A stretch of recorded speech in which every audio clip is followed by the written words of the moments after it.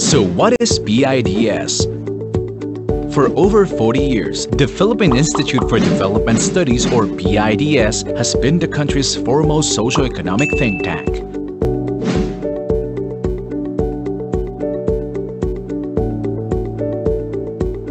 Conducts rigorous and objective policy research and analyses that help the government in crafting relevant policies, plans, and programs in support of the country's long-term vision and development goals. PIDS pursues its mandate through three basic programs research, dissemination, and outreach. Through its research program, PIDS identifies and prioritizes studies, develops proposals, and conducts research on priority areas. The results of these studies are then disseminated through different platforms, publications, online resources,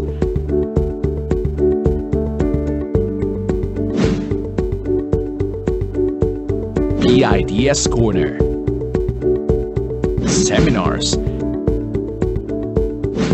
and the Development Policy Research Month or DPRM held every September.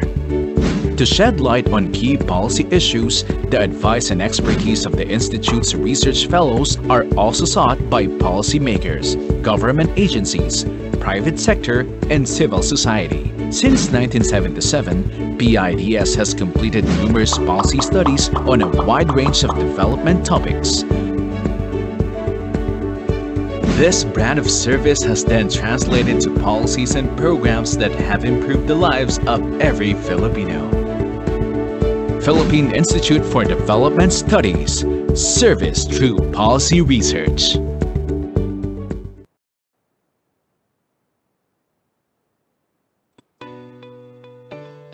References for your research? Do you want a digital library that you can access for free anytime and anywhere? You don't have to look far. SERP-P is here for you. SERP-P is an online database of socioeconomic materials produced by the Philippine Institute for Development Studies. Government agencies, research and academic institutions, and international organizations based in the Philippines. It is the country's first online repository of socioeconomic information, created for policymakers and development practitioners, researchers, educators, and students. To access SERP-P, just visit the PIDS website and click the SERP-P widget, or type serp-p.pids.gov.ph. SERP-P has a wide variety of materials such as journal articles, books, research papers, working papers, policy notes, audiovisual materials, and more. As of 2021, SERP-P has more than 50 partner institutions contributing knowledge resources to the database. SERP-P provides a comprehensive coverage of references encompassing 22 research themes. Labor and education, gender and development, poverty, technology and innovation, trade and industry, and many more. You can search by keyword or author, publication type, research theme, or year published. SERP-P has more than 7,000 publications and audiovisual materials that you can access and download for free. What are you waiting for? Visit SERP-P now. Socioeconomic Research Portal for the Philippines, innovating knowledge exchange and policy research.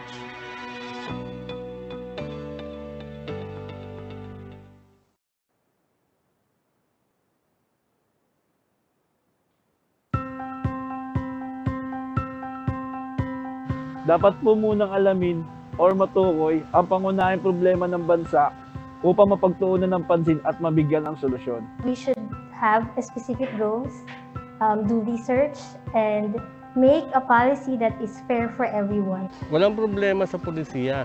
Iayos lang ang pagpapatupad. Bago patubas ang batas, pag-aralan muna gusto ng government.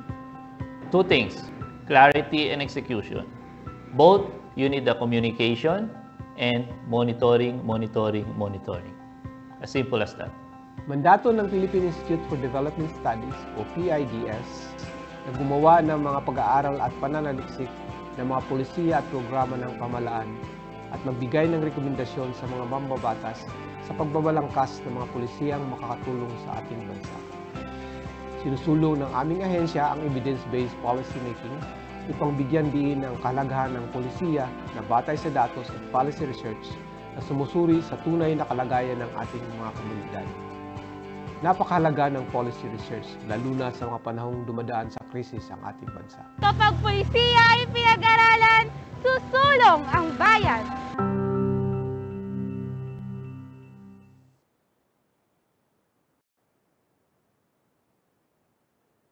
So what is PIDS? For over 40 years, the Philippine Institute for Development Studies or PIDS has been the country's foremost socio-economic think tank.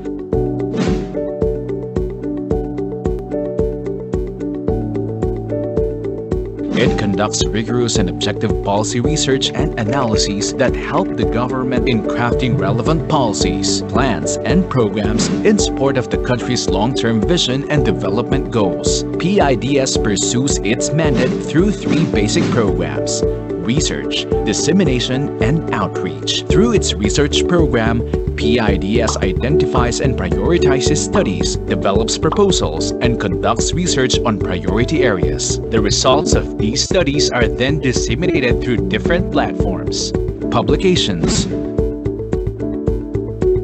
online resources,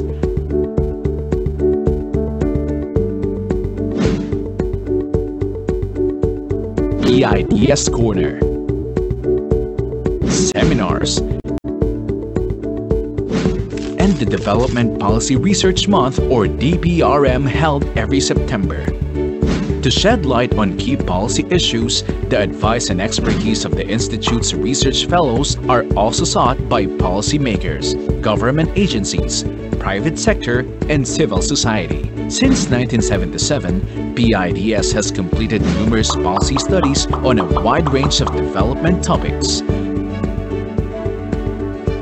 This brand of service has then translated to policies and programs that have improved the lives of every Filipino. Philippine Institute for Development Studies Service through Policy Research.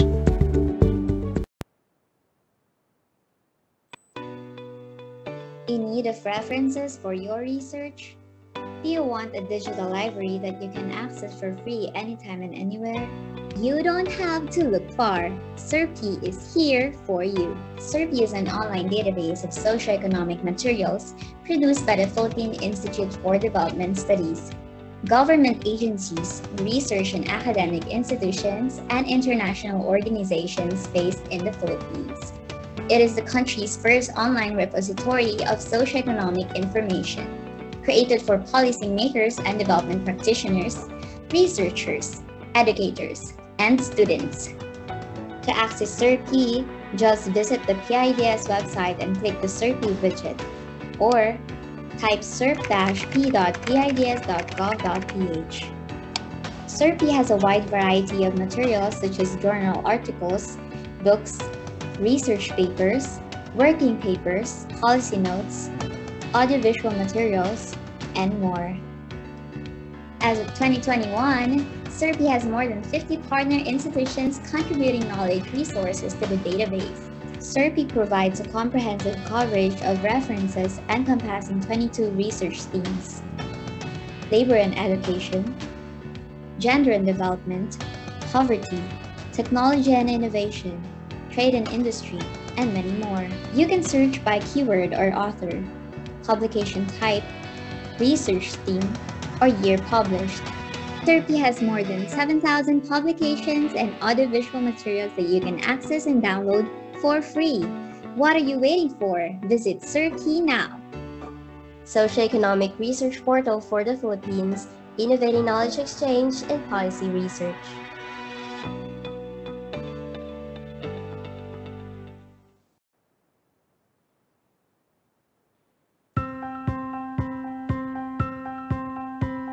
Dapat po munang alamin or matukoy ang pangunahing problema ng bansa upang mapagtuunan ng pansin at mabigyan ng solusyon. We should have specific goals, um, do research, and make a policy that is fair for everyone. Walang problema sa polisiya.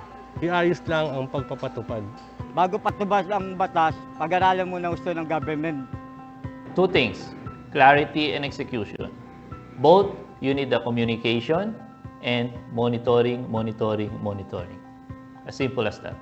Mandato ng Philippine Institute for Development Studies o PIDS na gumawa ng mga pag-aaral at pananaliksik ng mga polisiya at programa ng pamalaan at magbigay ng rekomendasyon sa mga mambabatas sa pagbabalangkas ng mga polisiyang makakatulong sa ating bansa. Sinusulong ng aming ahensya ang evidence-based policy upang bigyan din ng kalagahan ng polisiya na batay sa datos at policy research na sumusuri sa tunay na kalagayan ng ating mga komunidad. Napakahalaga ng policy research, lalo na sa mga panahong dumadaan sa krisis ang ating bansa. Kapag pulisiya ay pinag-aralan, susulong ang bayan.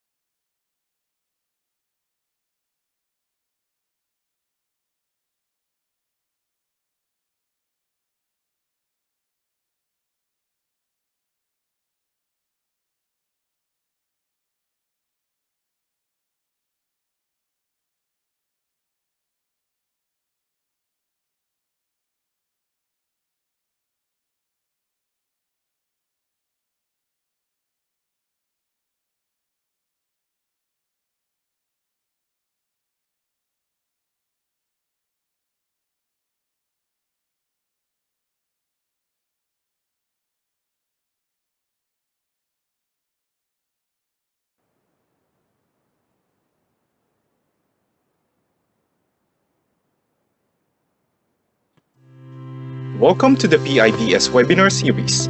Before we start the webinar, we would like to give you a few reminders. For attendees, your microphone is muted upon entry. In case you have a question, the moderator will read it during the open forum. For those attending via Cisco WebEx, use the chat box located at the lower part of the screen. Click the chat icon, type your name and affiliation and your question, and send to all panelists. You may send your questions while the presentation is in progress. The moderator will read them during the open forum. For Facebook viewers, at least two questions from the comment section will be read by the moderator during the open forum. We will moderate all questions to ensure that they are relevant to the scope of the presentation. Thank you for joining us, and we look forward to your active participation.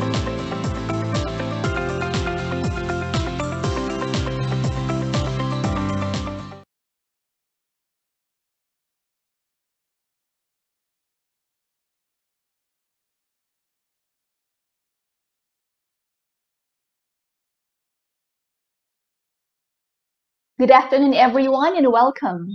This is the PIDS webinar series where we feature PIDS policy studies and the insights of government policymakers and program implementers, industry experts and practitioners, scholars, and civil society actors.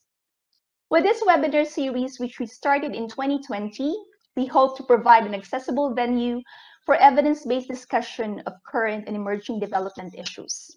I am Sheila Siar, and I will be your moderator. The services sector is considered an engine of growth in Asia, In the Philippines, it has been one of the strongest and fast-growing sectors for years.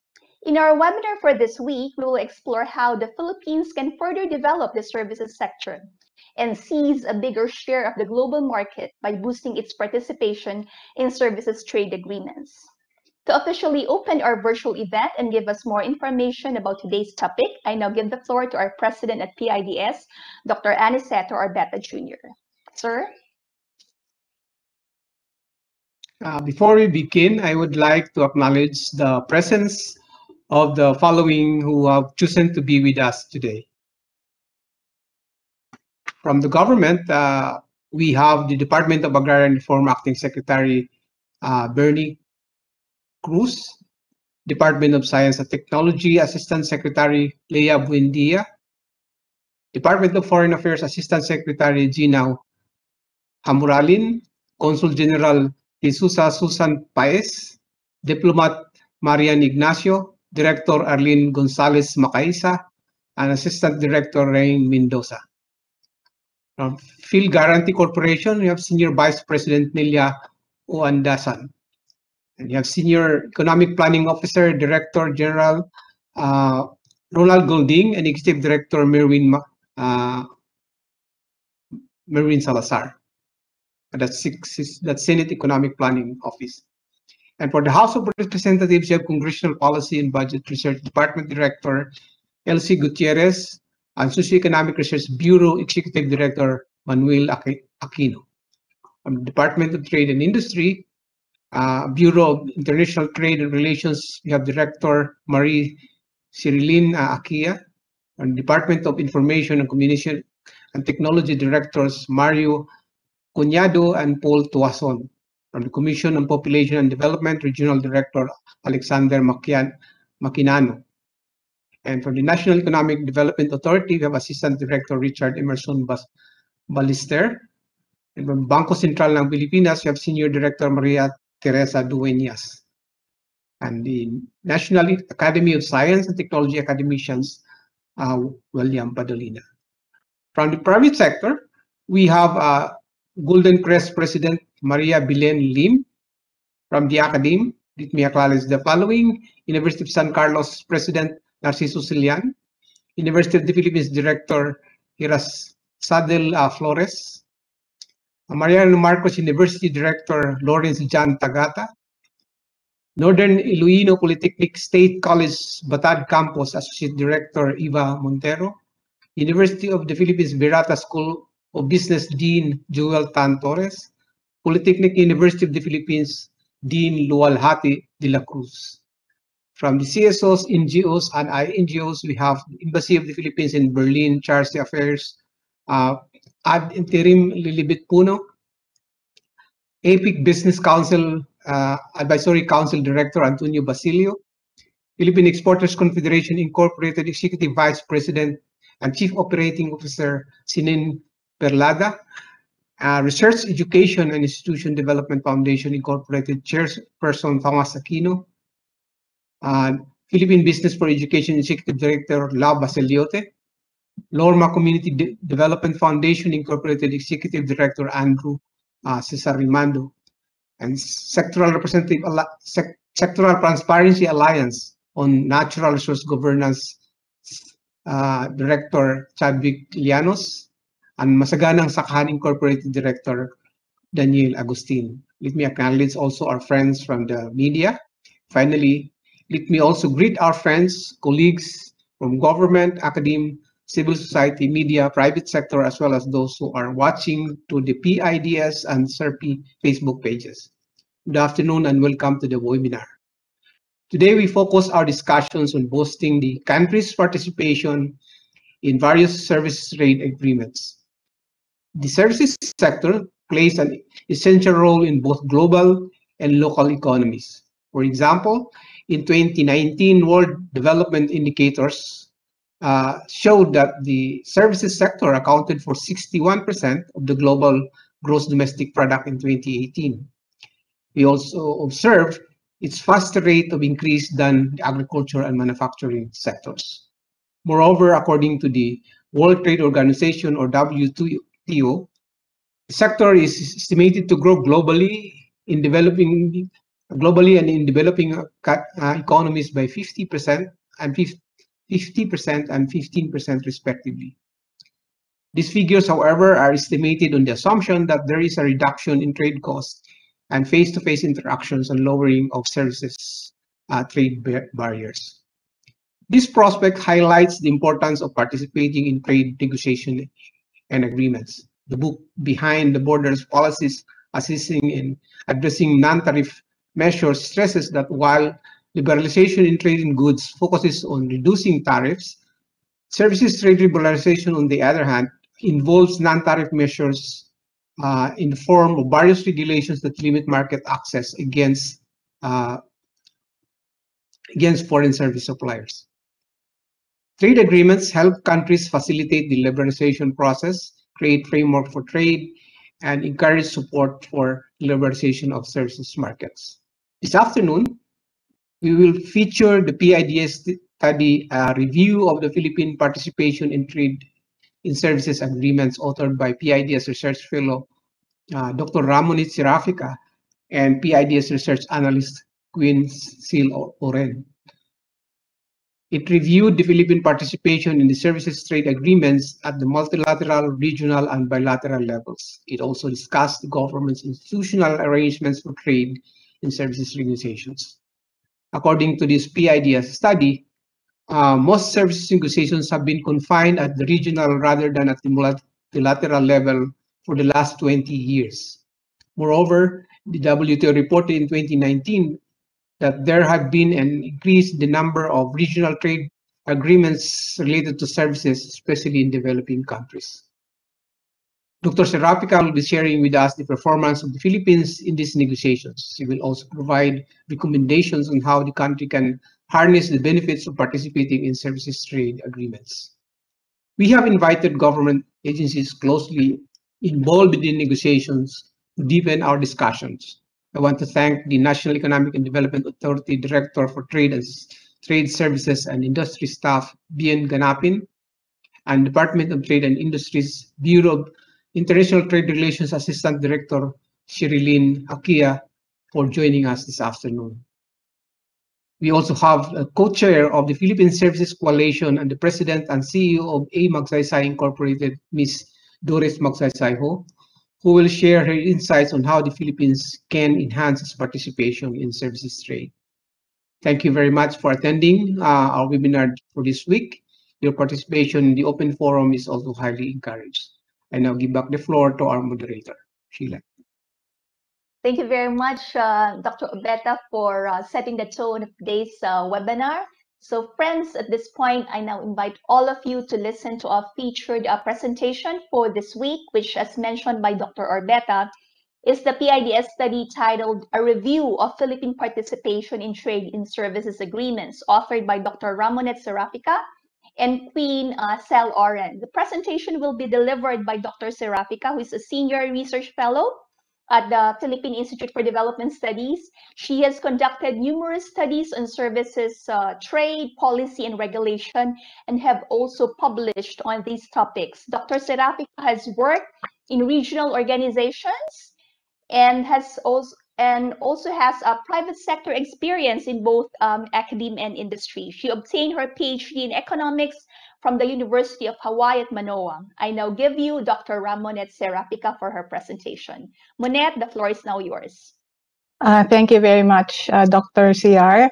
So good afternoon. Uh, before I proceed, uh, I would like to acknowledge, uh, as mentioned, the contribution of my co-author, Queen Cel Oren, and also thank the Bureau of International Trade Relations of the DTI, the Trade Services and Industry staff of NEDA, and the Philippine Services Coalition for assisting us during the preparation of this paper by providing information and sharing their um, experience and insights, and of course, for taking part uh, in this webinar.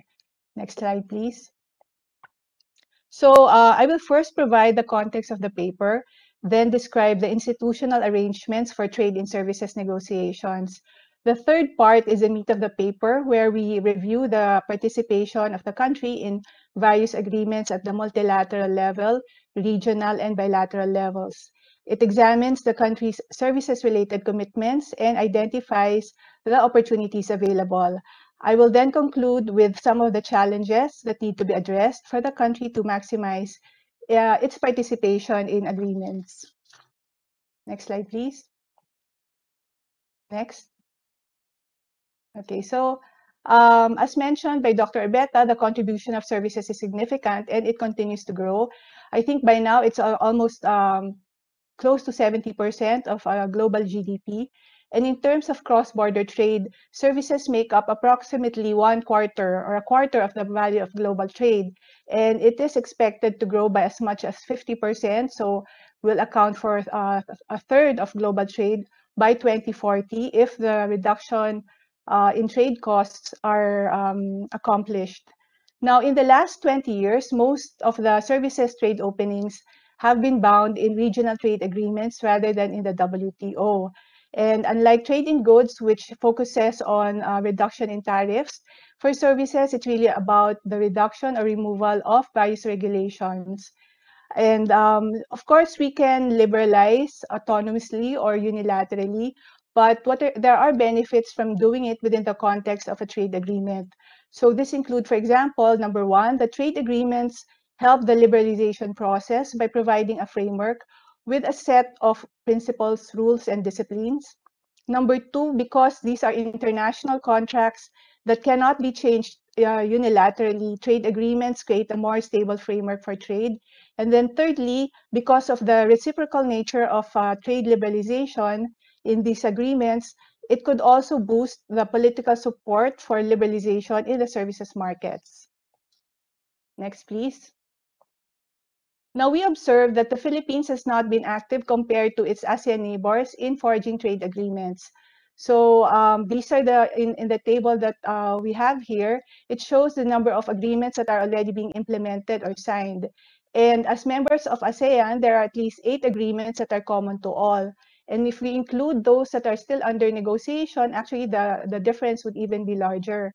However, um, we note that it is the country's interest to participate in agreements because, and, and therefore pursue market access because of the comparative advantage of the Philippines in the services sector. Next slide, please. So in general, we want to assess how the Philippines can maximize uh, our participation in FTAs to realize the gains uh, from liberalization and facilitation. And specifically, we look at the uh, role of FTAs in delivering these benefits. Number two is look at the challenges uh, at the regulatory and institutional levels. And then thirdly, identify the gaps and provide recommendations. Next, please. Okay, so now I will focus on the institutional arrangement. Uh, next. So before I uh, go into the details, I think it's important to discuss that or consider that there are many steps involved in um, in trade negotiations for for us to realize the benefits. So there are five key moments as according to Marconi, uh, Marconini and Sauvé. First is we have to have a, a national plan or uh, for services. We have to have a national strategy for services.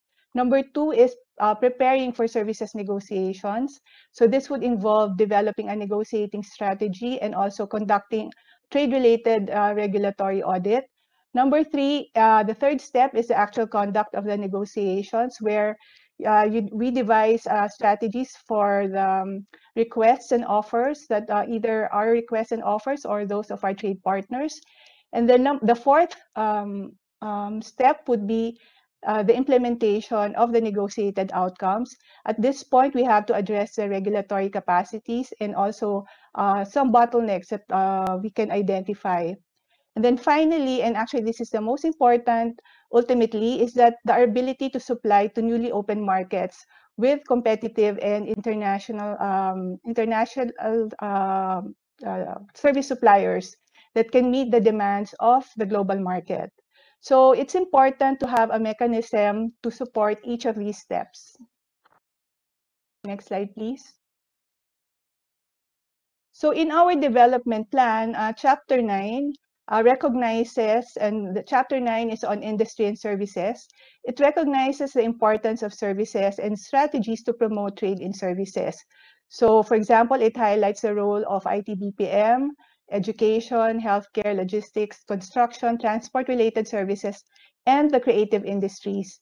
The plan also identified priority reforms to remove barriers uh, to foreign investments. And then uh, another chapter on competition policy is also relevant because it promotes fair competition, especially in transport, energy, and telecommunication services sectors. Next slide. Okay, so in terms of the uh, in institutional setup by law, there are two principal agencies involved um, in negotiating the country's international commitments. So we have the DTI, which is mandated to take the primary role in negotiating and reviewing existing international trade agreements. And then the other lead agency is the DFA, which is mandated to implement the three pillars of the Philippine foreign policy. Now, the, there are two groups, in effect, that uh, with similar memberships that are responsible for trade agreements. These are the Committee on Tariff and Trade-Related Matters and the Philippine Council for Regional Cooperation. So uh, next slide, please. Okay, so the Committee on uh, Tariff and Related Matters advises the President and the NEDA Board on tariff and related matters and coordinates agency positions and recommends national positions in international economic negotiations. Uh, there are three levels in the CTRM. You have the committee proper, the technical committee, and uh, the subcommittees. There is a special technical committee on WTO matters uh, whose main function is to examine and recommend the Philippine position uh, at the WTO. And under the TCWM, uh, uh, the Interagency Committee on Trade and Services uh, uh, uh, leads the negotiations, and it is the NEDA that acts as the chair of this, of this particular uh, interagency committee, and it receives secretariat assistance from NEDA's trade services and industry staff. Next slide, please. Okay, in the second group is the Philippine Council for Regional Cooperation, which was created in 2011 to facilitate interagency coordination um, uh, and formulation of the Philippine policy towards uh, our relations or in various regional and interregional organizations and fora. So uh, this would include, for example, ASEAN, APEC, ASEAN, uh, ASEAN uh, Asia-Europe meetings, and the Forum for East Asia, Latin America Cooperation. Uh, the PCRC involves four uh, cabinet level uh, technical boards. And um, there's also, under the AMTB, is a committee on ASEAN Economic uh, Committee. The CAEC is chaired by the DTI and composed of various departments and agencies concerned with ASEAN economic uh, and financial cooperation. Now, under the CAEC, DTI leads the services negotiations in ASEAN, ASEAN plus one FTAs, and the Regional Comprehensive Economic Partnership Agreement. Next slide. Uh, next slide. Okay, so this table presents the members of the Interagency Committee on Trade and Services. And you have uh, DTI, NEDA, and DFA, um, and they are responsible for the uh, cross-cutting issues. But for specific modes of supply, you have, for example, for mode one, um, or cross-border supply. You have the Data Privacy Commission, for example, for mode two, consumption abroad, you would have um, Department of Tourism. For mode three, which is about uh, the establishment of commercial presence, you would have BOI and SEC. And then for mode four, or the movement of natural persons, this would be handled by the uh, DOLE. And then, of course, for each of the sectoral um, issues, you would have the relevant agencies um, participating. So in a particular agreement, either the DTI or the NEDA would handle the coordination of services negotiations. Uh, as we understand, however, they have no veto power over positions taken by other agencies, and trade policy making is done by consensus. And then individual departments and agencies bring their own initiatives, research, and trade positions. So to summarize, we have two lead coordinate uh, we have two lead coordinators for services negotiations and the responsibility for shepherding the a particular nego uh, negotiation depends on the trade forum or footprint of the agreement. Next slide, please. So now we will, uh, I will present the review of uh, the Philippine participation in various trade agreements. Next. So we start at the multilateral level. So the agreement at the multilateral level is relatively young compared to the counterpart in goods. The General Agreement on Trade and Services uh, was signed in 1994, whereas the um, General Agreement on tariff, Tariffs and Trade was signed in 1947. So the GATS uh, establishes a set of rules and disciplines governing the use um, by WTO members of various measures affecting services trade. And uh, trade is liberalized uh, through a series of market access and national treatment commitments specified in the schedules, which describe the, the terms, limitations, and conditions. Uh, the GATS also uh, defines standards of transparency and uh, several other disciplines on good governance for the services sector. It is important to highlight that the GATS explicitly recognizes the right of, it, of the members to regulate to pursue its national uh, policy objectives. Next slide. So these figures reflect the subsectors included in the schedule of the Philippines and, it, and its trade partners. The left panel shows the commitments of ASEAN member states in the GATS and uh, please note that we uh, we only counted the subsectors. It does not reflect the depth of the commitments uh, made across the sectors. So whether or not uh, full or partial commitments were, were made are not reflected here. Uh, nonetheless, it shows that the Philippines, an original member of the WTO, committed fewer subsectors uh, compared to other members. And you will also notice that Cambodia, Vietnam, and Lao PDR which joined in 2004, 2007, and 2013 respectively, uh, included more subsectors in their commitments. And then the right panel shows the subsectors uh, of the other, uh, the commitments of the other FTA partners of the Philippines. And again, uh, showing that the Philippines committed fewer um, subsectors compared or except for India. And um, to date, further multilateral uh, negotiations, well, it started in 2001 under the Do uh, Doha Development Agenda, but no outcomes have been achieved uh, so far in terms of additional market openings. The most recent achievement at the WTO in terms of services is the um, signing of the Joint Initiative on Services uh, Domestic Regulations, uh, which was uh, signed last year and and and uh, I believe the Philippines uh, joined uh, this particular uh, initiative. Okay, uh, next slide, please. Now, uh, in terms of bilateral agreements, the Philippine-Japan Economic Partnership Agreement was the first FTA signed by the Philippines in 2006. the agreement contains a chapter on services trade with an annex on financial services and a chapter on the movement of natural persons. Uh, commitments were made using the positive list approach, so similar to GATS. And um, however, these commitments also included a standstill obligation, which means that they do not deviate from the current laws and regulations, or they observe the status quo.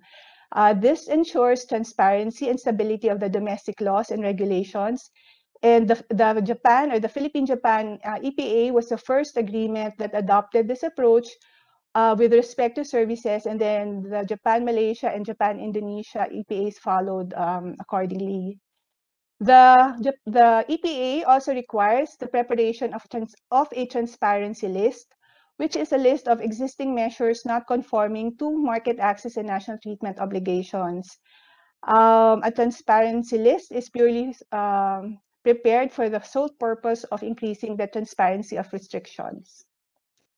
Um, okay, so compared to the uh, GATS, the Philippines added 38 new commitments uh, in uh, PJPA. Um, next slide, please.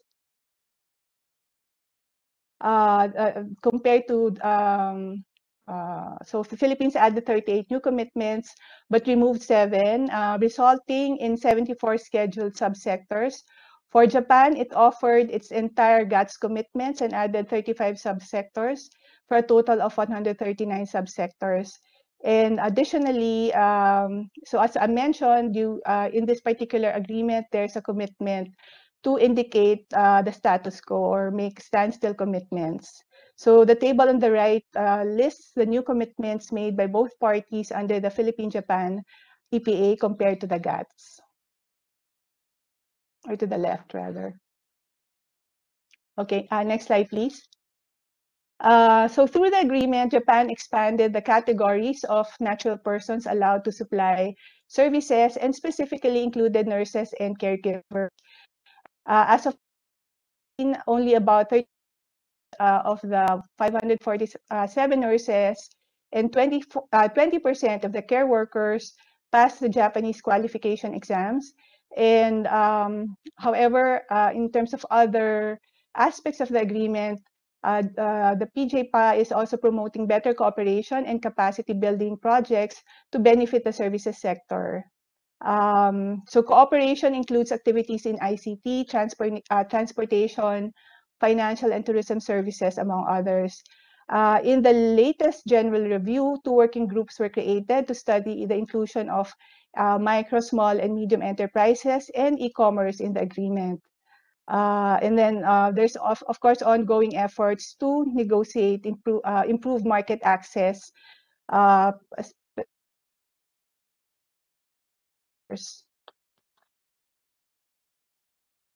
Next slide, please. So the the next is the Philippines European F, uh, FTA FTA so EFTA which is the second bilateral uh, FTA of the Philippines. It uh, includes uh, the EFTA states, Iceland, like Liechtenstein, Norway, and Switzerland. Um, and it entered into force in 2018 uh, for the Philippines, Norway, and Liechtenstein. But for Switzerland, it entered into force in January 20, uh, January 2020. The chapter on services trade closely follows the GATS approach it uh, covers uh, all the four modes of uh, uh, all services sectors and all four, four modes of supply. And there's also a separate annex on financial services, telecommunications, movement of natural persons, maritime transport, and energy-related services to complement the chapter with additional disciplines uh, specific to those sectors. So next slide, please. Uh, the Philippines committed the least number of subsectors compared to the EFTA member states. Uh, so comparing, uh, if you compare it with GATS, Philippines and Liechtenstein committed more sub uh, uh, more subsectors in the PHFTA uh, because for the Philippines we start we start from a low base. So in terms of the increment, it's significant. you will notice also that no country made commitments in health-related and social services uh, possibly indicating that this is a sensitive sector for um, bound liberalization. Uh, next slide, please. So the Philippines made 41 new commitments in PHFTA. And uh, so I won't uh, go into details because they're here in the slide. Uh, notice uh, don't add up uh, to the total because in some cases, uh, commitments made in GATS were not introduced in the EFTA agreement. Okay, um, next slide, please. So it's a relatively new agreement, and but uh, it is hoped that uh, Filipino services suppliers, particularly the skilled workers and professionals, will benefit from uh, movement of natural persons commitments. for Mode 1 and Mode 4, uh, it would help uh, suppliers and skilled labor and professionals, particularly in uh, architecture and uh, engineering. Um, the entry and temporary presence of service suppliers in, uh, in such as business visitors, uh, intercorporate transferees, and contractual service providers are also included. Um, and I think in, in some cases, the economic needs test were also waived.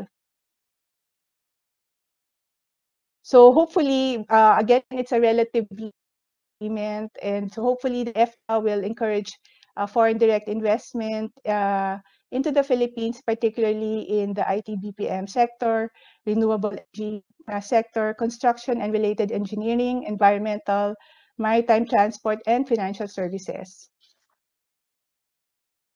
Uh, next slide, please. Now, for the regional um, agreements, uh, we have ASEAN, and the formal process of liberalization in ASEAN started with the signing of the ASEAN Framework, uh, Framework Agreement on Services in 1995. So uh, it has uh, essentially the aim is to create a free trade uh, area uh, in services and it uh, adopts a GATS plus principle, which means that member states sh shall schedule commitments under AFAS that go beyond their GATS commitments. And the results of the negotiations are formalized in packages of schedules of commitments under AFAS. And the latest package of commitment under the AEM is the 10th package. And there are also parallel um, uh, negotiations and commitments that can be found in finance, financial services, and also uh, in, trans in the transport sector or um, yeah, uh, under the purview of the ASEAN transport ministers.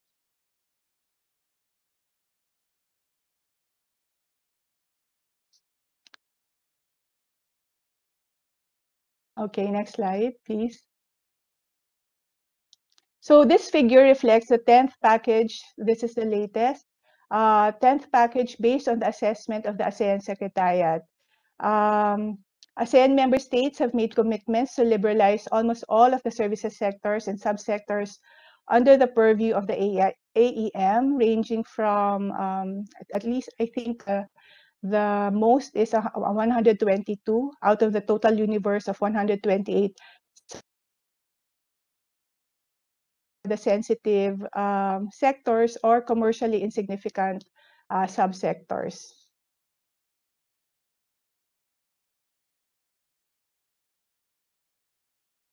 Uh, yeah. Next slide, please. Okay, the latest development in ASEAN is the adoption of the uh, ASEAN Services Agreement uh, or ATISA, which is supposed to be the enhanced AFAS. So um, if you recall in AFAS, the goal was to create a free trade area in services. In ATISA, the goal is more ambitious because it really the economic integration ambition of the region. Uh, and therefore, um, in terms of the approach to negotiations, it's supposed to be more liberalizing because it now adopts the negative list approach.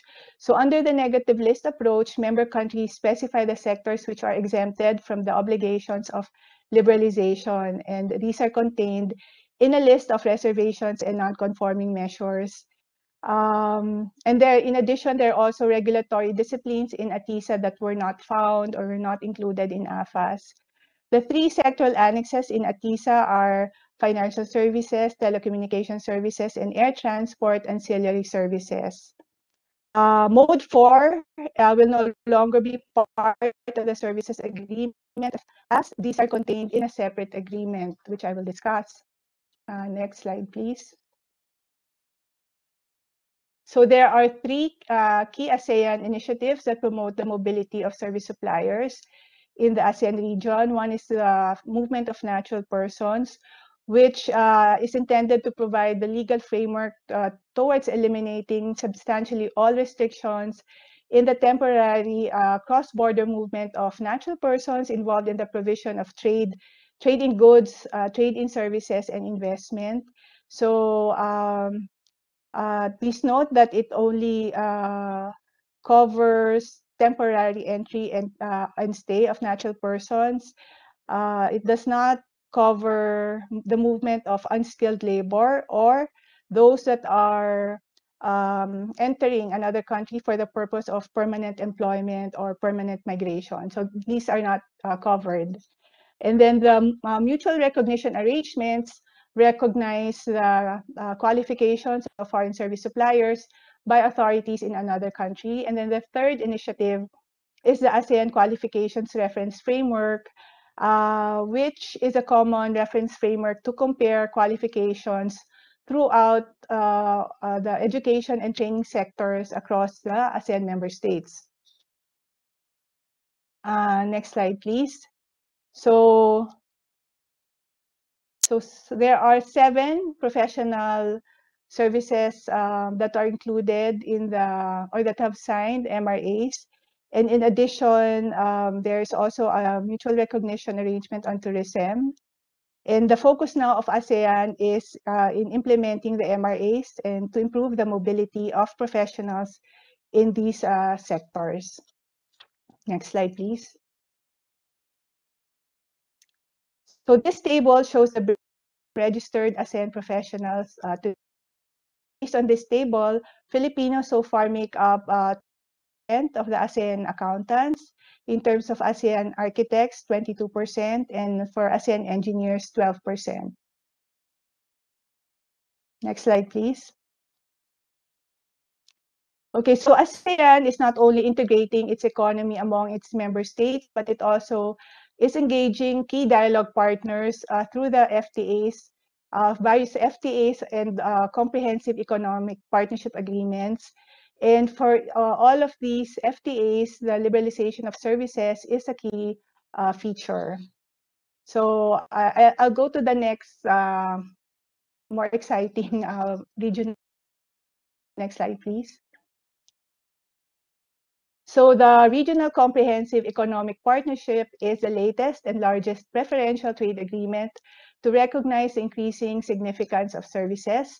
RCEP is an agreement between um, ASEAN and the ASEAN FTA partners, uh, Australia, China, India, Japan, Korea, and New Zealand. Uh, it was signed by the ministers in 2020 and, um, and eventually signed, uh, however, without India and it entered into force this year. Uh, for the Philippines, this was signed in September by the President and is now waiting or is now being discussed at the Senate. Uh, so based on the assessment of the ASEAN Secretariat, the RCEP is significantly broader and deeper compared to all the ASEAN uh, FTAs, the other FTAs that I showed you earlier. In the area of trade and services, this includes a separate chapter for MNP, three annexes on uh, each on uh, one each on financial services, telecommunications, and professional services. And uh, similar to ATISA, the in the um, uh, latest or the uh, most prominent feature of the RCEP is the scheduling of market access commitments using the negative list approach, either at the conclusion of the negotiations or within a specific timeline after the entry of uh, into force of RCEP. So um, Cambodia, Laos, uh, Myanmar, Philippines, Thailand, Vietnam, China, and New Zealand initially the, uh, the positive list. And I, I believe we have uh, three years to transition to a negative, uh, so we adopted the positive list. And we have three years to transition to the negative list approach.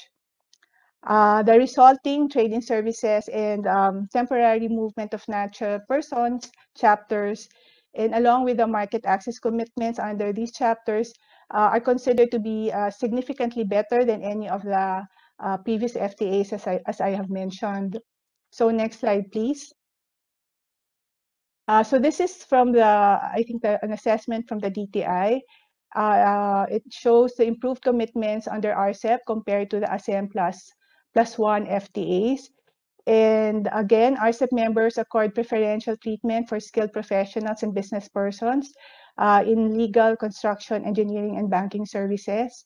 Uh, but I think the figures here are about um, commercial presence and the market access commitments um, for Mode 3 in various in the sectors listed on the slide. And uh, another important aspect of RCEP is that there's a chapter on economic and technical cooperation that is built into the agreement. Uh, next slide, please. So the table shows the number of subsectors that the Philippines committed in RCEP. Uh, out of the total 155 subsectors, so that is the universe, the Philippines committed 103 subsectors, which is significantly higher than the 43 that we had committed in the multi uh, in the GATS or at the multilateral level. So next slide, please. So now I will focus on the final part, which is to talk about the challenges and the way forward. Next slide. So um, since it uh, the Philippines prepared its first schedule in the 1990s, the Philippines has expanded the coverage of subsectors that it has bound in agreements. So for comparability with the AFAS, we removed the uh, commitments in financial services, air transport services, and services covered in the uh, ACIA or the Agreement on Investment. So in a sense, uh, by binding more subsectors, the certainty or predictability of our policy regime has improved over time. Although, um, obviously, this is only with respect to our partners in preferential trade agreements. Next slide, please. Now, while the coverage has increased, the degree of bound liberalization is another issue. Water in the schedule of commitments refers to the difference between the bound level of restrictiveness and the actual or applied regulation. So this could occur uh, by not including any sector, which is the highest level of water, or, um, and, and this means that the fewer sectors you include, the higher the water or the policy space, uh, it's also called. Uh, another type of water is created when, for example, uh, quantitative limitations are more restrictive than what the domestic laws allow. So as indicated in the previous tables, not all sectors have been included in the schedule of commitments of the Philippines. And in addition, there are cases where subsectors were included. However, the limitations were set at a more restrictive level than uh, what is allowed in our laws. So um, uh, it should be noted that water uh, binding overhang or policy space uh, is not unique uh, in to the Philippines. And so most all countries have water in their schedules. Uh, however, and, uh, and the extent of water could be significant. However, there are welfare gains from, from reducing policy uncertainty by reducing the difference between bound and applied policies and even by binding the status quo to encourage trade um, from our trading partners. So overall, commitments that bind the existing regime is preferred to one with water, although the latter would still be better than unbound policy regime. And services agreements provide a mechanism for parties to reduce policy uncertainty by setting an upper bound on the level of trade restrictiveness. So we know that um, there are recent policy reforms that will effectively open up key sectors in the economy. Uh, this will allow the government to have more policy space, which we recommend it should judiciously exercise in the context of international trade agreements so that uh, you have to balance the need for policy space uh, on the part of government, but at the same time, the need for of the private sector for more certainty in our policy regime. Uh, next slide, please. So the the second issue uh, is uh, focuses on um, uh, enhance uh, seizing market opportunities so a, a, trade agreement does not end with the signing of the document. The next steps involve implementing negotiated outcomes and supplying newly open markets with services. So um, through the FTAs, the Philippines obtain market access and non-discriminatory treatment uh, with our various trading partners. However, and, and, and these may not be different from the actual policy, but uh, at least these are secured under the agreement. So it is important to engage and capacitate the private sector and assist uh, SMEs in particular. Uh, an, an, organization such as the Philippine Services Coalition could be instrumental in making sure that the industry stakeholders are actively involved in each stage of in each stage of the services negotiation or nego uh, life cycle. So the final um, issue that we would like to raise, next slide please,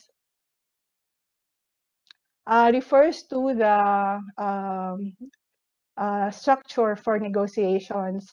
So in the updated development plan, it recognizes the need to strengthen the governance structure of trade negotiations. And we recommend that for trade in services, the first step towards strengthening governance would be to consolidate uh, negotiations in one agency instead of the current setup where the lead coordination role is split between two agencies depending on the trade partner and the scope of the agreement. And so this, in our view, would ensure coherence and consistency in the uh, formulating the negotiating positions, uh, whether it's done at the bilateral, regional, or plurilateral levels and uh, multilateral levels. And in our view, it is the DTI rather than the NEDA that, uh, which would be a better fit because it's already uh, involved in trade negotiations and it, uh, it of course in terms of linkage with the industrial policy and also uh, the business sector uh, it would um, I think we, we think the DTI would be better suited for the negotiations. It does not mean that NEDA does not play a role. Of course, uh, the role of NEDA is very important in providing uh, guidance and the overall trade policy. Uh, and later on in the assessment of gains and impacts. And NEDA could also focus in identifying and championing the domestic reforms that are needed to advance services trade um, and focus on this rather than in participating in trade negotiations. So this is the last um, recommendation. Um, I will conclude right now. Thank you. Thank you very much, uh, Dr. Serafica, for your uh, clear and comprehensive um, presentation. So we'll hear more from Moneng during the open forum, and we'll also have the chance to unpack um, um, her recommendations as we uh, listen to uh, the um, comments of our reactors. Okay, so at this point, friends, let's continue the conversation. And this time, we'll hear from our invited experts on their comments and insights. And um, as mentioned by Dr. Serafica in her presentation, uh, the Department of Trade and Industry, or the DTI, is mandated to take the primary role in negotiating and uh, reviewing international uh, trade agreements. And with us today to share the views of the DTI's uh, Bureau of International Trade Relations is Assistant Director uh, Marie uh, Sherylyn Aquia. Director Aquia has led the um, APEC and WTO sections in the past and uh, will also lead the Bureau in preparing for the country's uh, CPTPP engagement. She was the coordinator for trade and investment issues during the APEC 2015 chairmanship of the Philippines, which, which uh, saw the adoption of the Boracay Action Agenda and the submission of an MSME discussion paper, which led to the establishment of the Friends of MSMEs and eventually the WTO Informal Working Group on MSMEs. She was also the chairperson of the APEC Committee on Trade and Investment in 2016 and 2017. Uh, Director Aquia obtained her bachelor's degree at the University of the Philippines in Diliman, and she has masteral units from the Ateneo de Manila University and Boston University. Friends, representing DTI Assistant Secretary for Industry Development and Trade Policy Group, Alan Gepty, here now is uh, Director Sherylyn Aquia of the BITR. Lynn, you now have the virtual floor. Thank you, Dr. Sheila. Uh, good to see you again. I'm Masuki here at PIDS. I know you you asked us uh, asked Alan to come, pero yun, he's uh, he's on leave, and he asked me to to take his place. I only learned that I will do it yesterday, so actually I'm not able to clear most of my remarks with uh, with uh, Director Boots and with Asek Alan. So they're really my own, and I hope I will not be quoted on this. But anyway, I really wanted to join the conversation. It's something that we we we need to have, and uh, so I will go into that later. But before I begin, I'd like to thank you, the PIDS, uh, and also Dr. Minette, and for the study uh, it's uh, an honor to join the panel, um, especially with Director Ben and also with Mom Doris, uh, whom I have worked with uh, in the past in APEC. Um, before I continue, I'd like to say I'm not a services expert. And uh, however, I am part of the TCWM Secretariat, which was described in the study. I also had the chance to be part of the drafting team for the APEC Services Competitiveness Roadmap, which uh, came from the APEC Services uh, Cooperation Framework, uh, which is one of our deliverables from our chairmanship of APEC in 2015. So now just going uh, to the study itself on the objectives of the study, which is to highlight the importance of the services sector. I, I don't think I need to go into the importance of the services services sector to our economy. I think it's well accepted. The contributions to our GDP is very significant.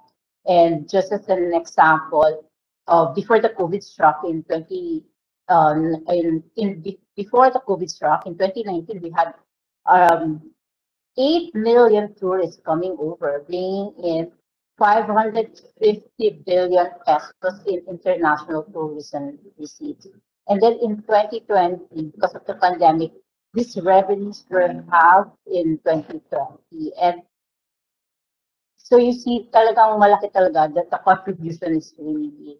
But then on the other side of the story, we also the telecom sector, the e-commerce, and the financial services sector holding up really very well during the pandemic. And as a sector, services is also growing very fast, and we export more than we import on services, which is good because we have a big trade surplus of um, in 2020 it's around 13 billion US dollars, and this surplus really gets some of at BPI, uh, parang it, it's also a cause of concern to some to some of us. Okay, anyway, when we negotiate free trade agreements, we make offers to liberalize our services regime, and we also ask the same from our trading partners.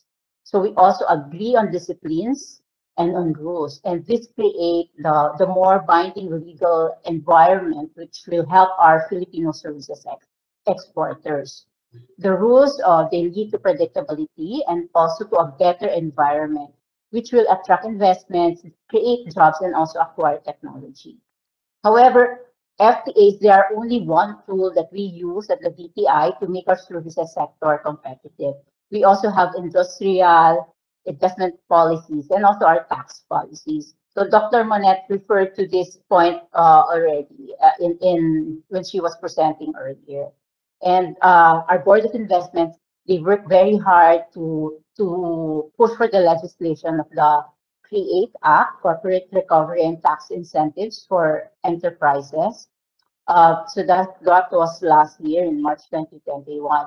Then there was also the passage of the amendments to the Foreign Investment Act uh, signed this month, and also the Retail Trade Liberalization Act uh, signed uh, three months back last December.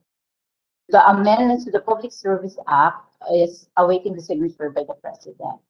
So essentially, our participation in the FTAs support our domestic efforts to improve the business environment, and they also complement the ongoing legislative reform measures.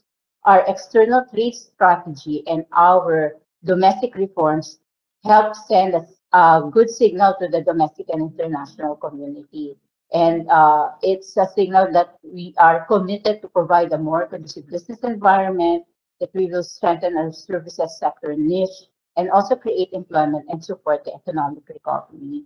So this study is really very important. In fact, we really want to thank the PIDS for doing this.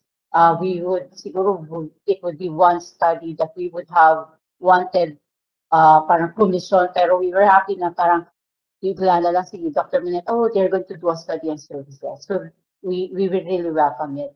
And uh, we appreciate the description on our services trade commitments at the GATS, at the, at the different ASEAN FTAs, and its services chapter, the JEPA, the PHF, and also on the RCEP. And it uh, describes very well the government's institutional arrangements for trading services negotiations. It also identifies the current gaps in determining the utilization of the various arrangements. The findings and the recommendations of the PIDS on the need to improve governance structure for services trade policy formulation and negotiations are really relevant. This is a conversation that we should continue to have on a regular basis since the scope of negotiations and also the participants in the negotiations, they're changing, they're really evolving. Now we have even more comprehensive agreements. Even the TCWM membership, uh, our, it has changed from the time it was first put up in place. We had this set of agencies who are a member. Now it's a different, uh, I mean, it's it has also expanded. So parang uh, we, we, we need to continue the conversation. So we also need to evolve. And as we continue to negotiate trade agreements with services provisions, we also need to ensure that we are properly equipped and all efforts are aligned to achieve economic growth and development. Just a point on the bifurcated arrangement, um, I do note that there's the TCWM and there's also, so there's the, the DTI side and also, which is, which is where the IACTS deports. And then there's also the CAEC side, uh, which reports to the PCRC. So TCWM reports to the TRM. But actually in practice, uh, even at the TRM, the CAEX side also goes through the TRM. I, that's what that's my understanding.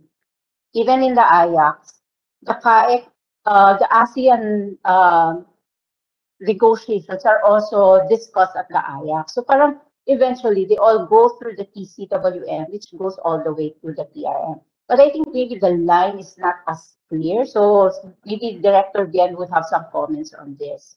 Okay. As for my key takeaways, um, uh, I have three. The first is the, the shift to the digital economy, which was accelerated during the COVID pandemic, has made the goal of achieving competitiveness of services trade even more important. More important. So the competitiveness of our services industries in the digital economy will determine our future growth as a nation. E-services will continue to accelerate and services on its own right and as a support to trade in goods will become even more important. And managing this transition to digital trade is important. It will require a whole of nation approach, I would say, not just a whole of government approach. And well, we have comparative advantage in some sectors and moving forward, it will take on increasing significance, including in areas that are previously that, that previously require maximum policy space, such as on e-commerce and digitalization of conventional conventional services. So I note uh, we, we acknowledge that services liberalization has historically not been as extensive. So maybe just a point to the agencies involved in the following sectors. They will have a more important role to play. And, and these are on uh, telecoms, business, courier, distribution, financial, e-payments, transport, and logistics services. So we have to really watch out for these uh, sectors. And then the second takeaway is that the linkages with multiple stakeholders need to be strengthened in order to properly identify the country's offensive and defensive interests in services trade negotiations. Collaboration with all stakeholders is critical. I always like to say that business, the business community, they are always many steps ahead in terms of technology, and really they are in a better position to understand the commercial implications of these agreements. It is the business community, both the large and the SMEs, who can identify the trade barriers that are put up by our trading partners. The academic community is also important. They can put forward new concepts, new concepts and ideas that the government negotiators may uh, may want to accept or support. At the same time, when we say private sector, I also speak for the consumers who are important stakeholders. Um, we should ask ourselves, will our agreements lead to better, more affordable, and higher quality of service? Will it create more jobs? So better consultations and more transparency will level the playing field and also shield the government from lobbying by, uh, by narrow interests. The third takeaway is on the governance structure. Um, for trade and services negotiations, this can be further improved to pursue a cohesive, holistic, and inclusive trade policy with the different agencies handling different negotiations depending on the parties involved.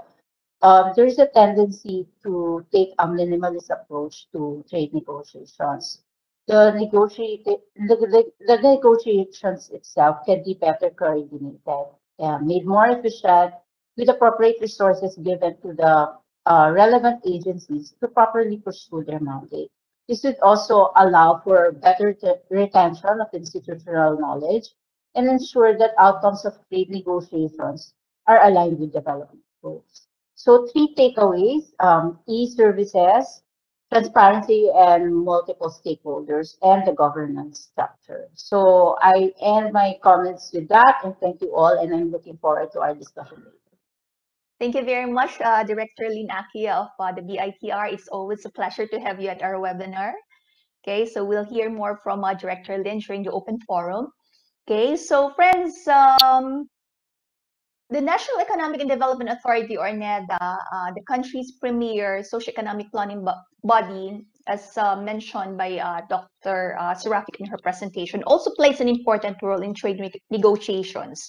And with us this afternoon to give his take on the PIDS study as well as uh, his insights on how the country can boost its participation in services trade negotiations is Director Bien Ganapin of the Trade Services and Industry staff of NEDA. Director Ganapin has been part of NEDA since 2003 and has assumed various positions at the uh, National Policy and Planning staff of NEDA. He earned his bachelor's and master's degree in economics from uh, the University of the Philippines and his master's degree in public policy from the Hitotsubashi, Hitotsubashi University in Japan. Director Ganapin, sir, the, floor, the virtual floor is now yours. Hi, thank you. Thank you very much, uh, everyone. Um, my um, my special thanks to the PIDS uh, for for inviting NEDA, uh, and uh, I, I, I um, at the onset I would like to congratulate and commend Dr. Uh, Ramonette Serafica and uh, Miss Queen uh, of PIDS for preparing this very informative study on the country's participation on trading services. Director so, Bien, can you turn on your hello? video, please? Can you turn? Uh, yes, on please. Yes. Yeah. Okay, okay, okay. Uh, wait. Okay. Is it uh, already on? Yes, it's on now. Thank you, sir. Okay, thank you. Uh, okay, now there have been very few notable uh, in-depth uh, studies that have been that have delved on the trade in services agreements. One such study was done by um, Aldaba and Aldaba in 2013, wherein they assessed the, the capacity building needs required to liberalize trade in the Philippines and uh, cited uh, institutional arrangements and obstacles to, to services liberalization. It's also worth noting that uh, the paper provided uh, the, the first published inventory of the ASEAN Framework Agreement on Services, or the AFAS commitments, from the first to the eighth uh, package. Now, this discussion paper provides a valuable and timely contribution and insight to the literature on trade and services in the Philippines. Um, the paper provides an, an, updated and comprehensive inventory of the services commitments under the trade and services agreements, uh, wherein the Philippines is, uh, is part of, as well as detailed information on these uh, commitments. Now, for the for for my discussions, uh, I will I will mostly deal on the the uh, my comments actually will be mostly focused on the institutional arrangements for trading services as discussed in the presentation, as well as the challenges um, that that was uh, that was presented. Now, on the institutional arrangements uh, for for trading services negotiations, um, since the Philippines acceded to WTO and the GATS in the 1995, the current trade negotiating agreements has been uh, the results of the result of uh, years of uh, interagency consultation and collaboration, uh, as mentioned by, by Director Lynn uh, earlier. This is in an effort to achieve the most effective mechanism for the country to attain the benefits from these agreements. Now, the, the key moments uh, alluded to in the life cycle of services negotiations I think by, by Marconini and Swab 2010, begins with services in development plans. Although the PDP recognizes the importance of uh, services and strategies to promote trade in services, it actually does not explicitly state the manner and pace at which the country should be engaged in trade in services agreements.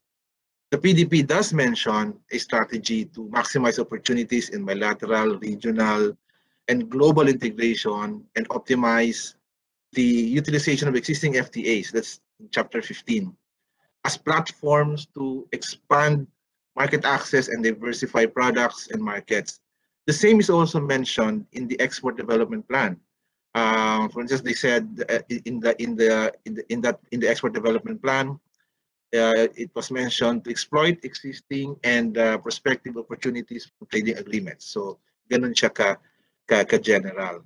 Uh, but over the years, um, the uh, the IACTS or the Interagency Committee on Trading Services, as presented uh, in the in the presentation, has been the venue for for the for discussion of negotiations for bilateral free trade agreements, such as the PJEPA, the PHFTA, the PHEU, as well as as well as PH Korea recently. Uh, uh, the Department of uh, of uh, Trade in and Industry or the DTI, of course, uh, remains the Philippines' uh, lead negotiator for these bilateral trade agreements, with NEDA assigned as the lead negotiator for the services chapter in this in this agreement. Now, the, the IACTS uh, also discusses Philippine positions relating to the ASEAN Coordinating Committee on Services, or the CCS, primarily on the uh, package of commitments under the AFAS, and same with, with the bilateral agreements, the IACTS uh, recommends the position for consider consideration of the DTI BITR as lead negotiator. But if you can see from the presentation, the way it is, uh, the in terms of the structure, you will see there that uh, that the the IACTS is under is basically under the the the technical committee on WTO on, on WTO matters or TCWM. So um, during in in many of, in some of our of our discussions with the IACTS members in the past, they would sometimes um, they would sometimes uh, raise this question on why are we discussing ASEAN matters uh, uh, when in fact this is supposed to be WTO. So so that, that's that's one of the one of the uh, uh, issues or concerns that was raised in in in in, the past meetings that I've that we have uh, facilitated in the in the IACTS. Now going to the challenges, uh, we agree that the existing policy remains restrictive policy regime of the Philippines, particularly in terms of foreign equity limitations. So these priority economic reforms uh, of, of uh, the priority economic reforms to amend the Public Service Act, um, which is now an enrolled bill uh, in, in um, with the Office of the President, as well as the Retail Trade Liberalization Act and the Foreign Investment uh, Act, which has uh, just been recently passed into law, will relax these limitations, uh, especially in the services sector and will allow the country to be more attractive as an FTA partner. Now, to this end, we expect bilateral partners such as Japan and EFTA to be interested in reviewing our existing agreements and negotiate better concessions in retail, transport, telecommunication services once the Public Services Act is passed into law. Now, the, the depth and the coverage of commitments in the GATS is not as extensive uh, compared to, let's say, PJEPA and AFAS uh, in terms of the number of sectors and subsectors uh, committed as uh, presented earlier, and uh, as well as the level of commitments in foreign equity participation. Of course, this is due to the fact that the GATS schedule, which was uh, still committed under the Uruguay round, has not been improved since 1995. And although the Philippines was ready to commit to submit additional offers, improvements at the time, especially in 2008, under the Doha Development Agenda, these negotiations uh, unfortunately, unfortunately came to, to a halt. Thus, uh, these additional offers have found their way in regional and bilateral free trade agreements such as the ASEAN, ASEAN Plus One, uh, FTAs, uh, the PHFTA, uh, um, and more recently the, the RCEP. Now, on addressing the water in the Philippine commitments, uh, based on our experience um, in, in, in, in, in, in this area, um, in coordination, of course, with, DTI is there also, um, the, the rationale for scheduling commitments below the existing regime is that although the goal is to further liberalize uh, services sectors, committing below the existing regime allows for policy space in, in, in negotiations, as mentioned also by by Mamonet, uh, uh, the policy space takes into account the possible change in, in regulations during the course of during the course of negotiations. And also during the successive rounds of, of negotiations provide pro, uh, provides flexibility for the country to improve its offers. So this is seen in the offers under the AFA, uh, as well as in the ASEAN-China um, uh, uh FTA, wherein successive packages of commitments show improvements in, in, in the offers. Now for public-private sector collaboration, we commend the, the Philippine Services Coalition for providing an avenue for such undertaking, in the same manner as the ASEAN Business Advisory Council. These two uh, private sector-led groups work closely with government in pushing for initiatives such as the WTO Joint Statement Initiatives on Services Domestic Regulation or the, the JSI SDR, and as well as the, the OECD Services Trade Restrictiveness Index. So, so we, we appreciate their, their efforts on that. Now, the, the study also highlighted the need to improve the current governance structure of the services trade policy formulation and negotiations. That is to enhance the, the, overall, the overall quality of our free trade agreements. We share the same view to consolidate the negotiations and agree one agency may be in a better position to handle the country's negotiations. It is important uh, that the expertise in trade negotiations is with the agency um, that has the legal mandate to, the, to lead trade negotiations. For instance, countries such as uh, Japan and Korea have a, a Ministry of Foreign Affairs, for instance, to handle the trade negotiations. But of course, it is supported by relevant government agencies. Now, the same is implemented in Australia, where the foreign affairs and trade and investments are handled by, by one single agency, uh, the Department of Foreign Affairs and Trade.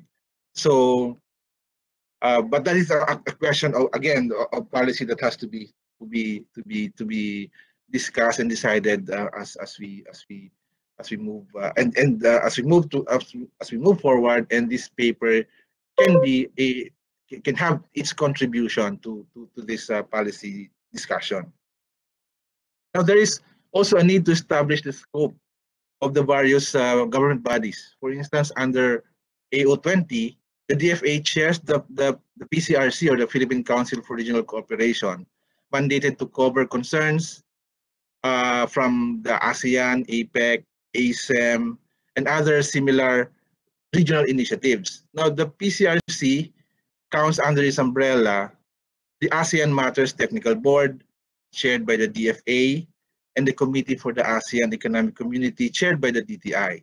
We think that this hierarchy, hierarchy of clearing houses for Philippine positions, at least in the ASEAN, should be fully utilized for more effective coordination.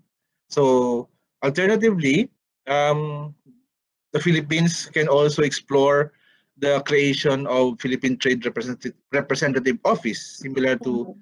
to the US. So, and then maybe another challenge or gap that I think that needs to be addressed is how to better capture the utilization of trade agreements in services. Well, this is relatively straightforward in the case of goods.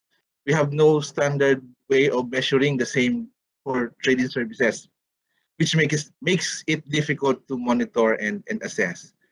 Um, so I think that's that. I will stop my comments there. Um, uh, but it has, I think, we it has given me and my team uh, in NEDA and in, in TSIS an opportunity to assess the the paper, uh, especially in the context of the Philippines' participation in trading services agreements, and consider the importance of established institutional arrangements in negotiation, as well as again, we gained a clearer picture of all the commitments in the FTAs of the country. So thank you very much and congratulations to, to the authors and PIDS for organizing this event.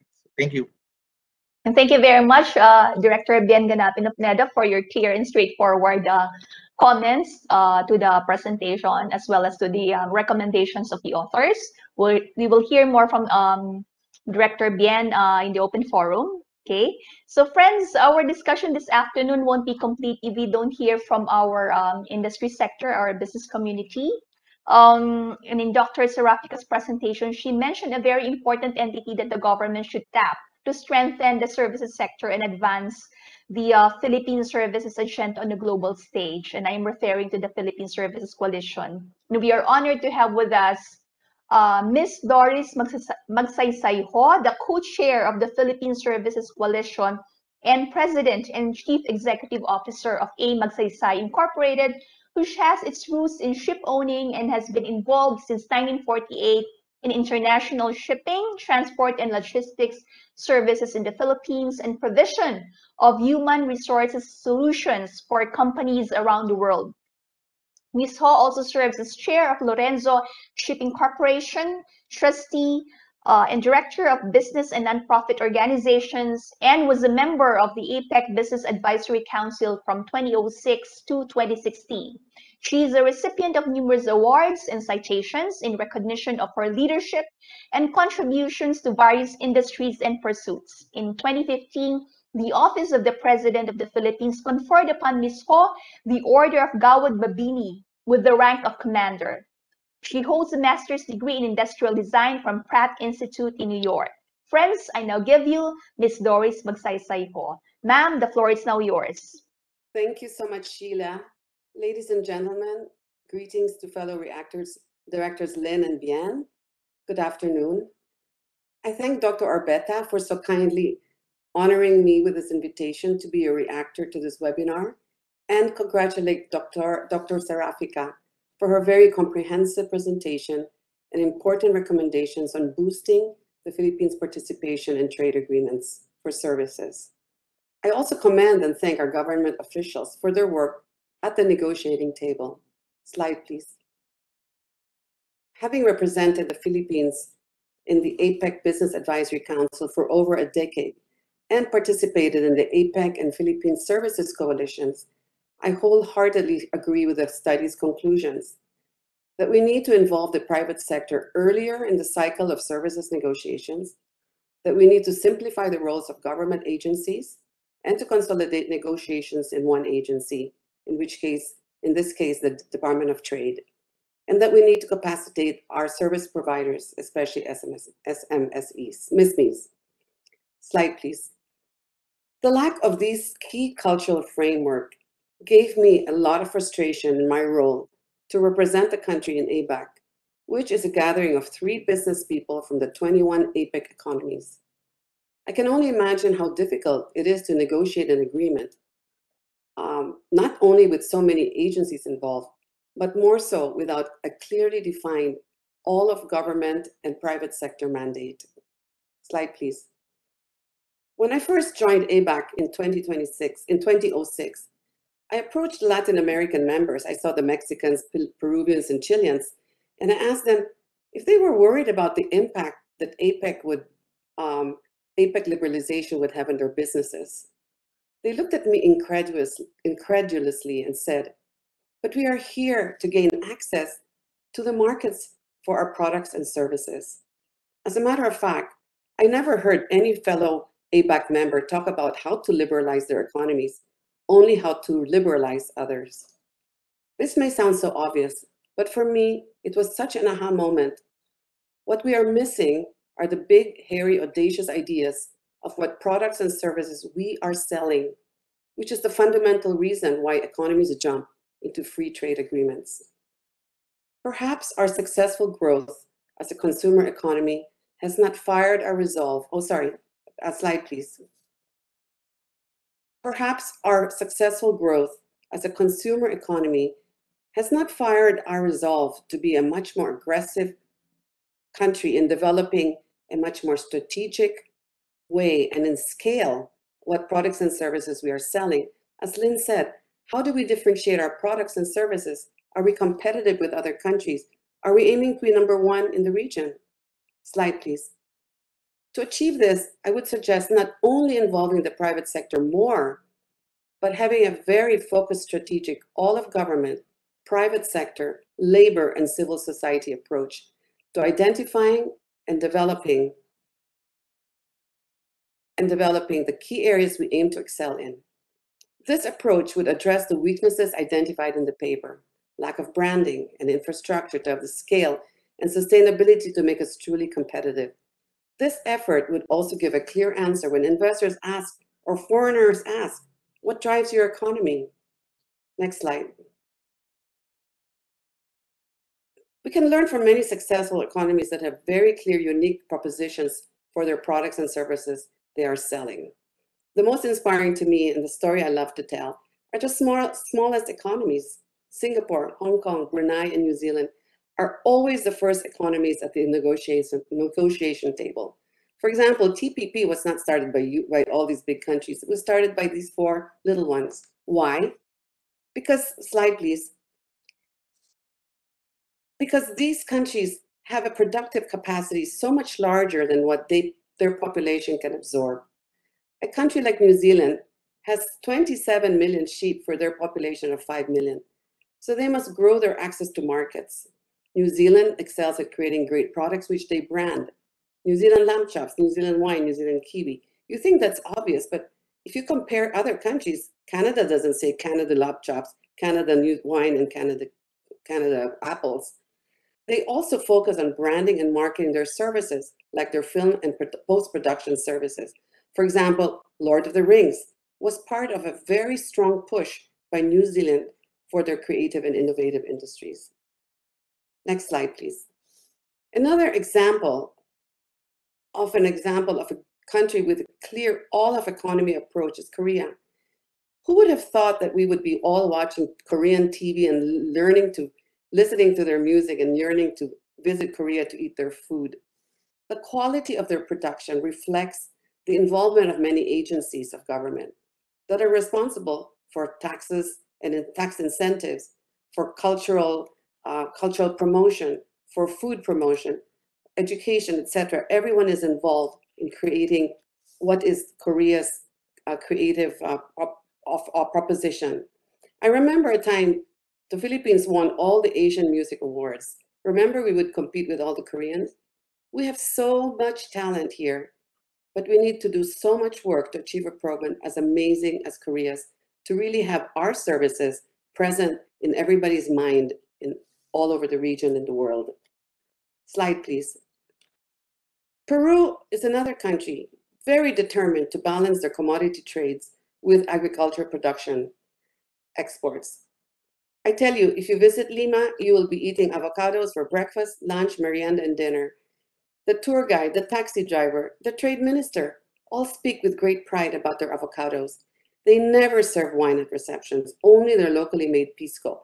As a matter of fact, I think we're the only country that serves wine in Malacanang, while perhaps, next slide, we could learn from this and proudly serve our rum instead of other countries' wines. We could serve banana chips while publicly tracking our banana trade share in markets around the world. However, to achieve this cannot be piecemeal efforts by large and small exporters. Next slide.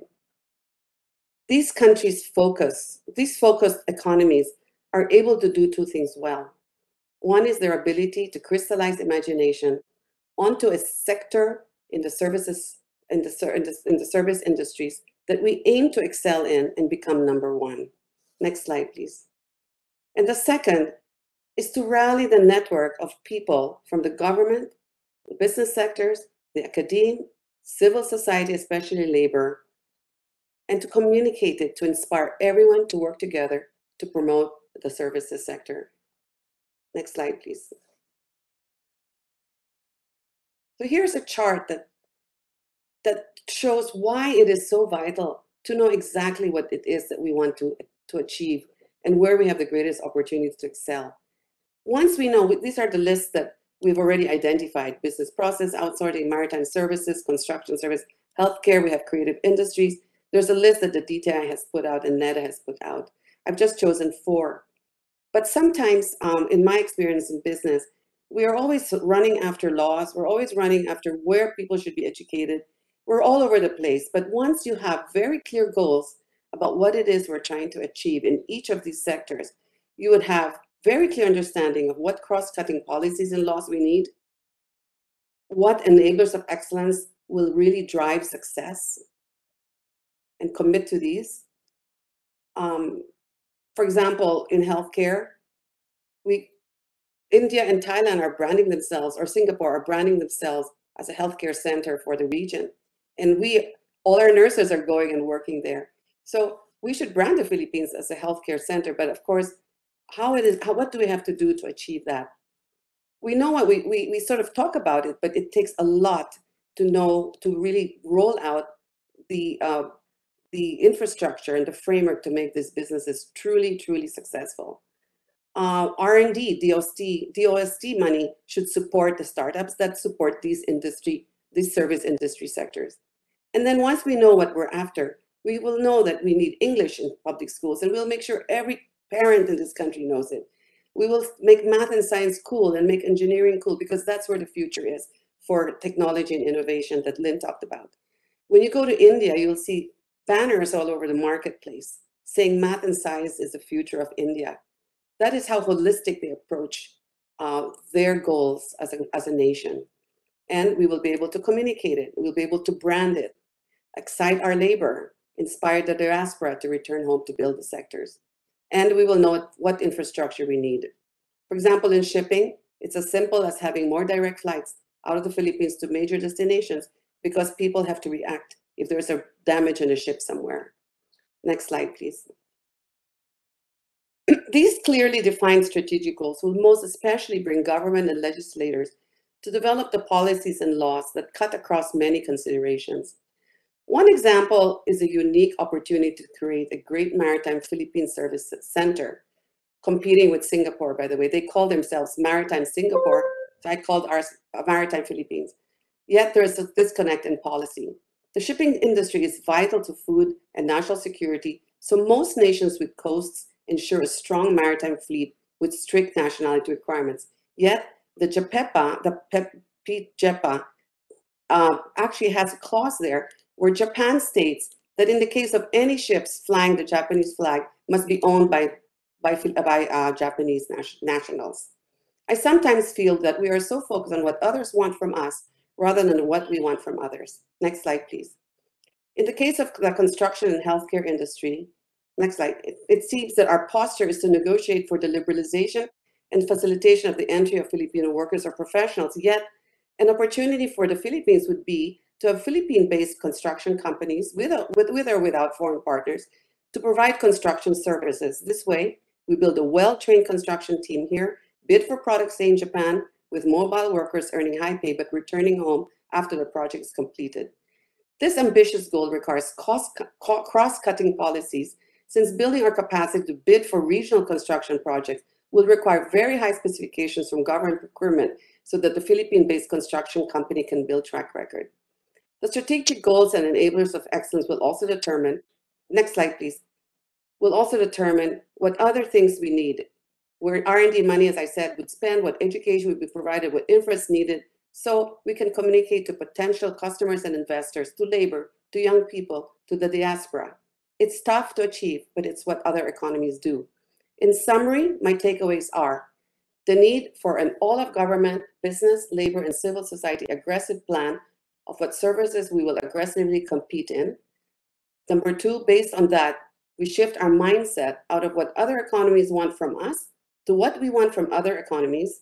And lastly, these strategic goals will help us guide our negotiators in the terms, conditions, and commitments that will enable our service sector's entry into new markets to develop the country towards a path to sustainable development. Thank you.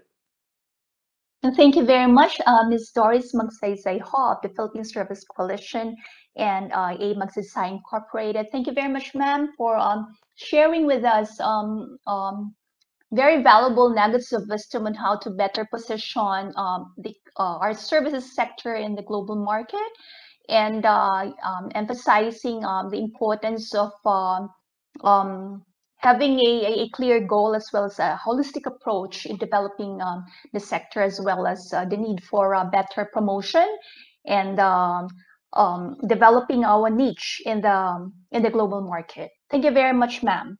Okay, so friends, um, at this point, we have heard the uh, reactions of our um, uh, speakers. um, our discussants. And uh, we have now come to the next part of our webinar, which is um, the open forum. And this time we would like to hear from you.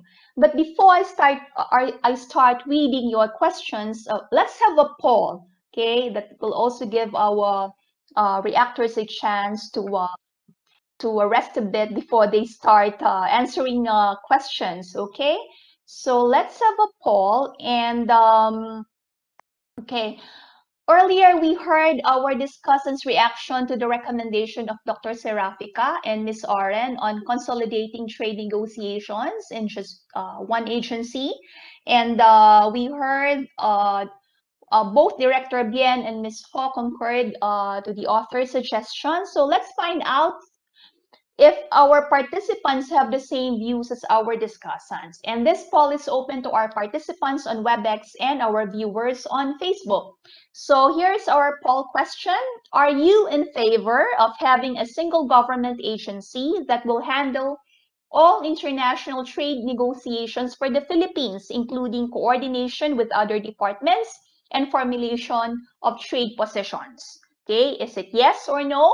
Again, are you in favor of having a single government agency that will handle all international trade negotiations for the Philippines, including coordination with other departments and formulation of trade positions? Okay, so you may uh, answer now. We are giving you 10 seconds to answer this question and we'll flash the results right away. When? Please let us know when the time is up. And, I'm now closing the poll. Okay. And uh, um, how many minutes will it take for WebEx to uh, process the uh, results? Uh, 20 seconds. Just 20 seconds. So, hintay lang tayo ng saglit. So, um, you may have uh, questions to our uh, speakers. Just use the chat box. We will uh, proceed to the open forum right after I show you the um, our poll results. Okay, is it ready now? Okay, uh, more are in favor of having just one single agency. So 74 answered yes, and only 11 answered no. So there you have it, okay? Um, and as a token of our appreciation to those who participated in our poll, we'll pick two names each from WebEx and Facebook, and we will give them a prize. And I will uh, announce the winners before we uh, end the webinar, okay? So let us now go to our uh, open forum. And at this point, I now invite our presenter, Dr. Serafik, and our reactors, Ms. Ho, Director Bien Ganapin, and Director Lynn Aquia to join us in the open forum. Okay, so we have a question from, um, let me check our chat box. Okay, we have a question from Joel Tan Torres. Um, for service providers, specifically or especially professional professionals um, or lawyers, do the FTAs, including RCEP, provide for unrestricted access or require regulatory oversight or intervention, such as approvals for access from the Professional Regulatory Commission? I think um, Director Lynn has answered this question in the chat box, but for, for the benefit of our uh, WebEx participants and our Facebook viewers. Director Lynn, uh, may we have your uh, response on this? Hi, Dr. Pilaya. Um, the our answer is that for legal pro professions, we, we do not have commitments on legal services in any of our FTAs on services. Um, this is because the practice of legal professions is limited to Filipinos as stipulated in our constitution. For other professionals, RCEP does not have a guarantee of unrestricted, unrestricted access. As professionals coming in the Philippines are still subject to measures such as the labor market test and immigration formalities. Just to recall, for uh, on the Philippine Constitution, Article 12, uh, Section 14, Article 12, the practice of all professions in the Philippines shall be limited to Filipino citizens, save in cases prescribed by the law. And if the activity constitutes the practice of a regulated profession uh, under Philippine laws and regulations, the, the professional must secure a special permit uh, from the PRC pursuant to RA one, which is the PRC Modernization Act. But then they also need to get an alien employment permit from the DOLE pursuant to the labor code. And then, of course, the, the professional need to comply with the requirements relative to the practice of the profession uh, by foreign national as provided in the uh, in our regulatory. So that's a long answer. Okay, thank you very much, uh, Director Lynn. Okay, uh, no other questions in our uh, uh, chat box. Let me uh, check our uh, Facebook. Okay, none yet. Um, okay, let's um, let's go to uh, uh, some of the recommendations uh, mentioned by uh, director by uh, Dr. Serafica. One of which was involving uh, one of which is to involve the um, private sector um, earlier in the cycle of services uh, negotiations. What um, mechanisms are available for private sector participation? Um, may how how how can they you know um how, how can we operationalize this uh, recommendation and what mechanisms are already available Can I can I start?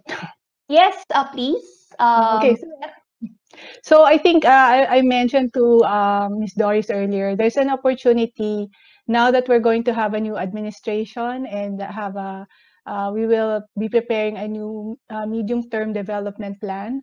Uh, there's an opportunity to engage the private sector in drafting uh, the chapter on services. So, and maybe this time around we can have a separate chapter on services, uh, uh, not combined with industry anymore. So that's one opportunity. And as I mentioned, that's the first step in trade negotiations to have a national plan Mhm. to ensure that the goals and visions are articulated at the highest possible uh, planning document. Uh, and then I think uh, moving for, for in terms of the other steps, then uh, I think the D, well both DTI if, uh, and NED, if I'm not mistaken, they do engage the private sector, uh, but maybe uh, it's also sort of a, a sensitive issue because trade negotiations are supposed to be in a way secretive, right?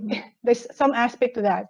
So uh, I think, uh, but if you engage the right people and there's a formal channel and formal um, mechanism, then I think that's one way to make sure that you achieve the transparency, but at the same time, the strategic nature of services negotiations uh, would be upheld. Um, yeah, so that's my view.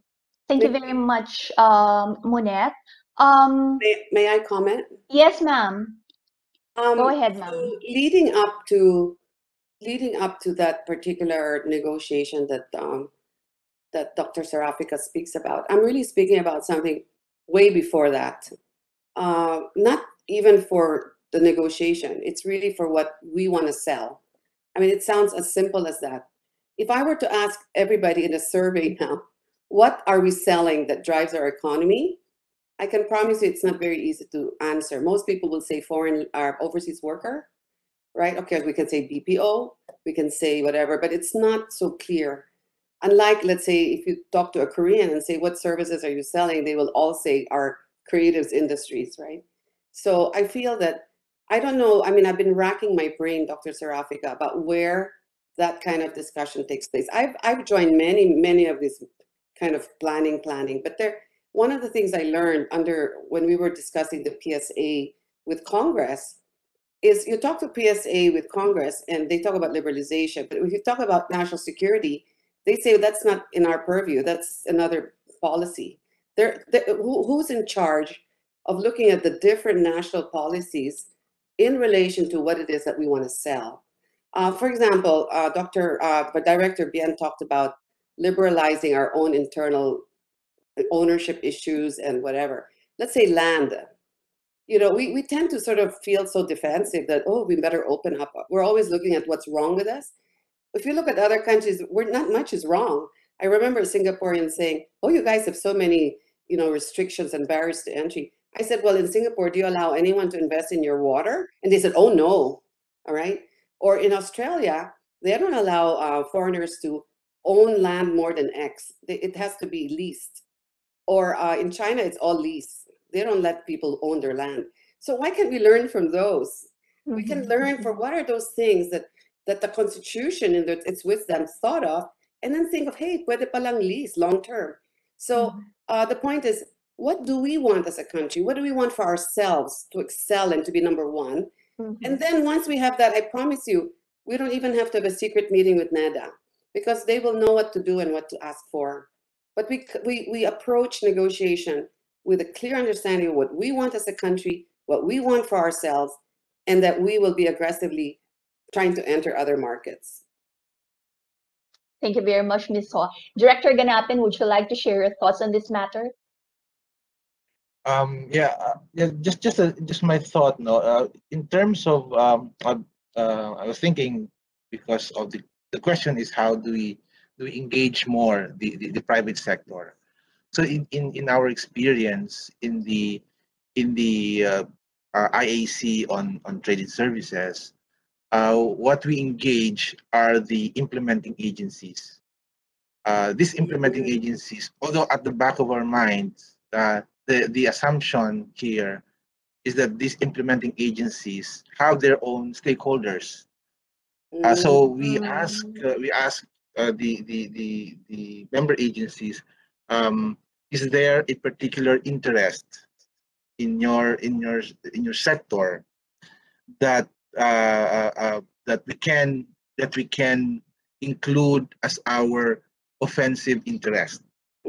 So that's that's ho- that's in, in terms of the process uh, of, for for trade negotiations.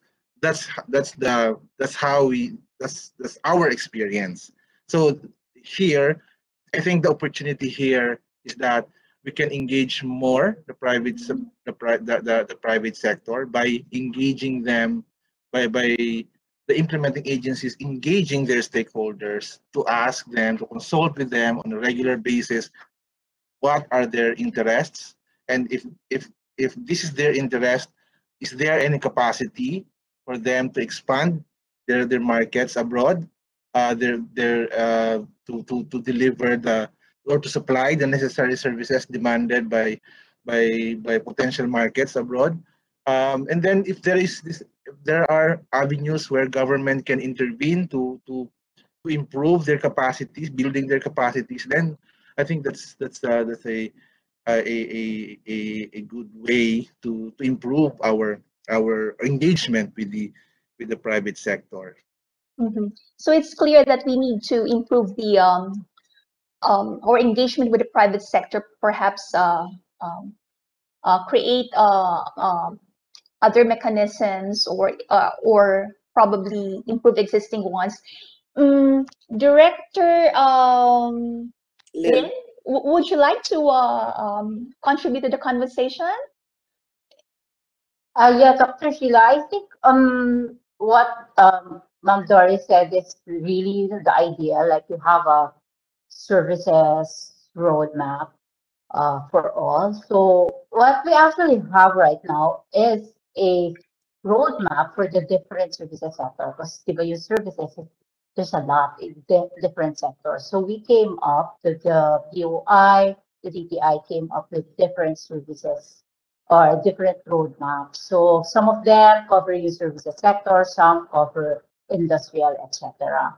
So that is one initiative that we can continue to uh, to parang do on a regular basis, update it, and we do consult heavily with the private sector when we, when we come up with the roadmaps.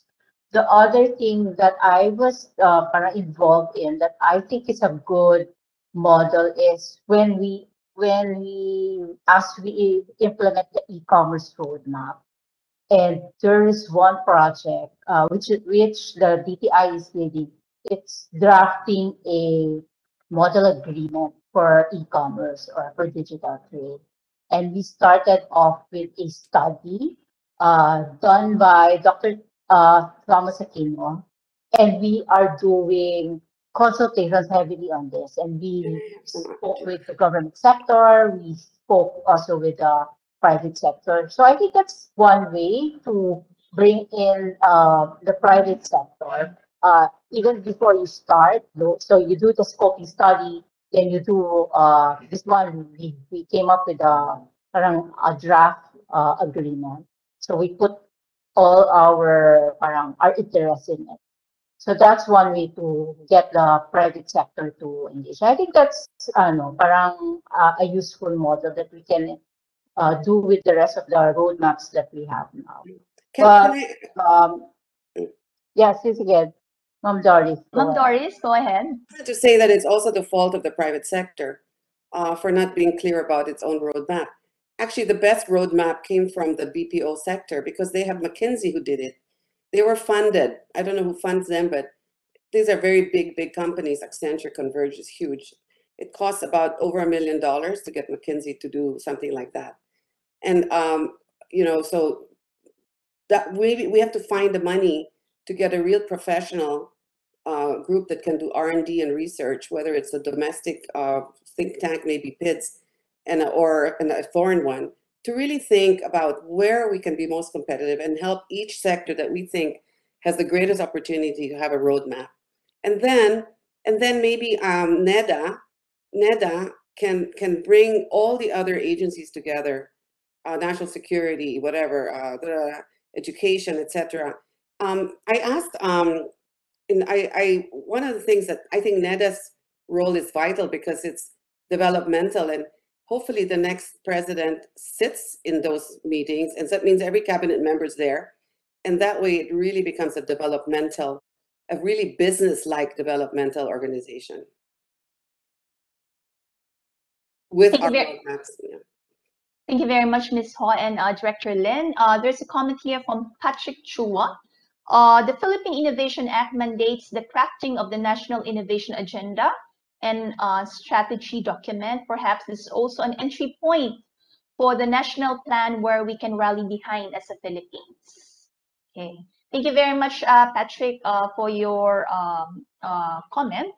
And uh, moving on, uh, we have another question here from uh, from uh, Dio Marie Estor uh, from the Department of Finance. Um, I'll read uh, his question. Uh, he would like, okay, he's addressing this question to PIDS NEDA or DTI.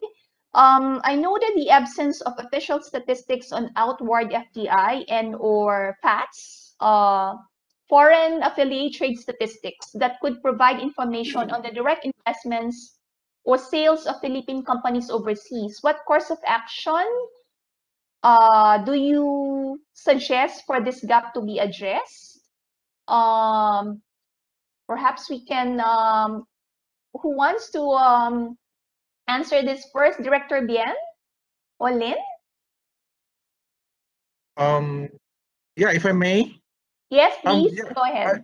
Yes, I I think on on the on the investment side, what what is available in the in the uh, Bangko Sentral's uh, website is the net FDI. Uh, but if you look at if you look at the data uh, in detail, the net FDI is actually the the the net of the inflows and outflows. So we have actually, I think we have a, a data there um, uh, on on the outflow, and it's uh, it's a um, parang parang uh, there is an outflow of, of FDI, uh, the outflow, and then an inflow. But uh, and then it's it's also categorized by by sector. So you have agriculture, manufacturing, etc., and other services.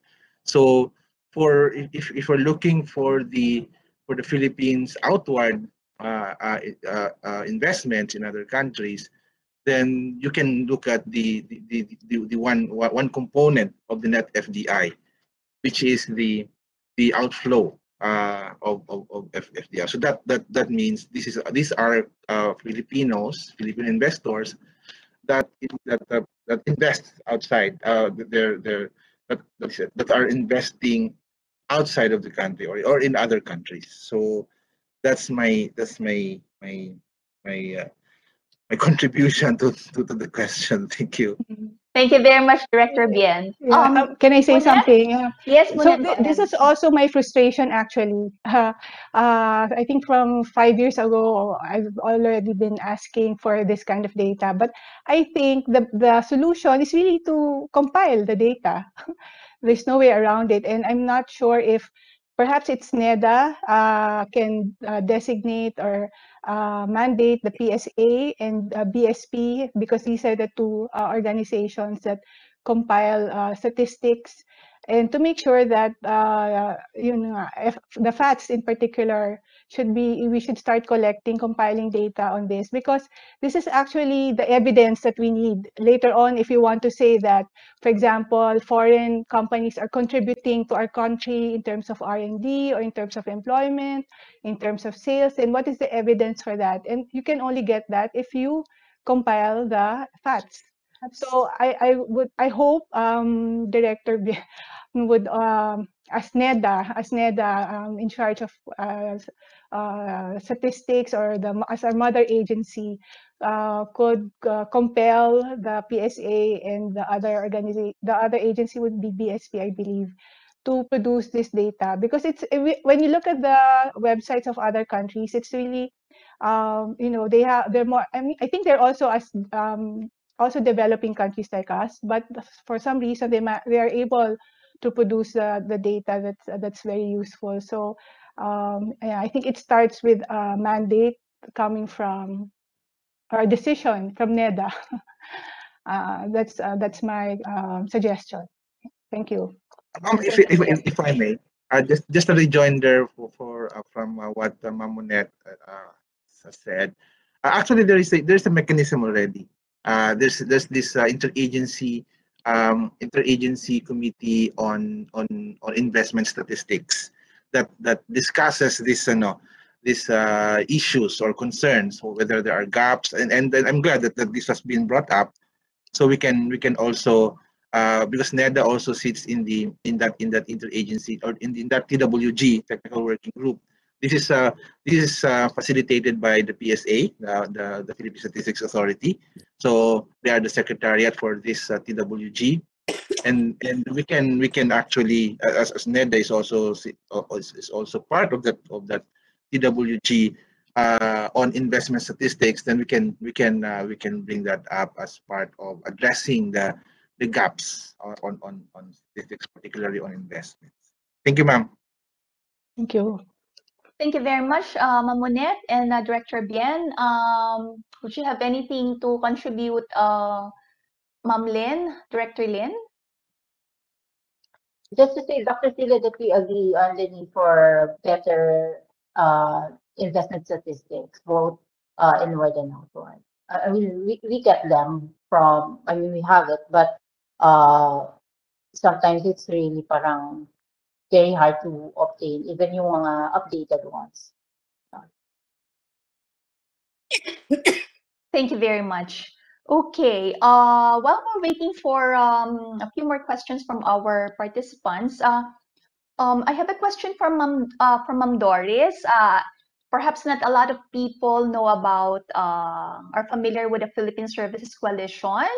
Um, Ma'am, would you uh, like to give us um, details about what the coalition does, how how um, its activities, uh, particularly on uh, how it uh, um, it's advocating for uh, meaningful reforms uh, for the services sector and how it is um, um, trying to influence or let's say uh, advocate or um, you know promote the services industry.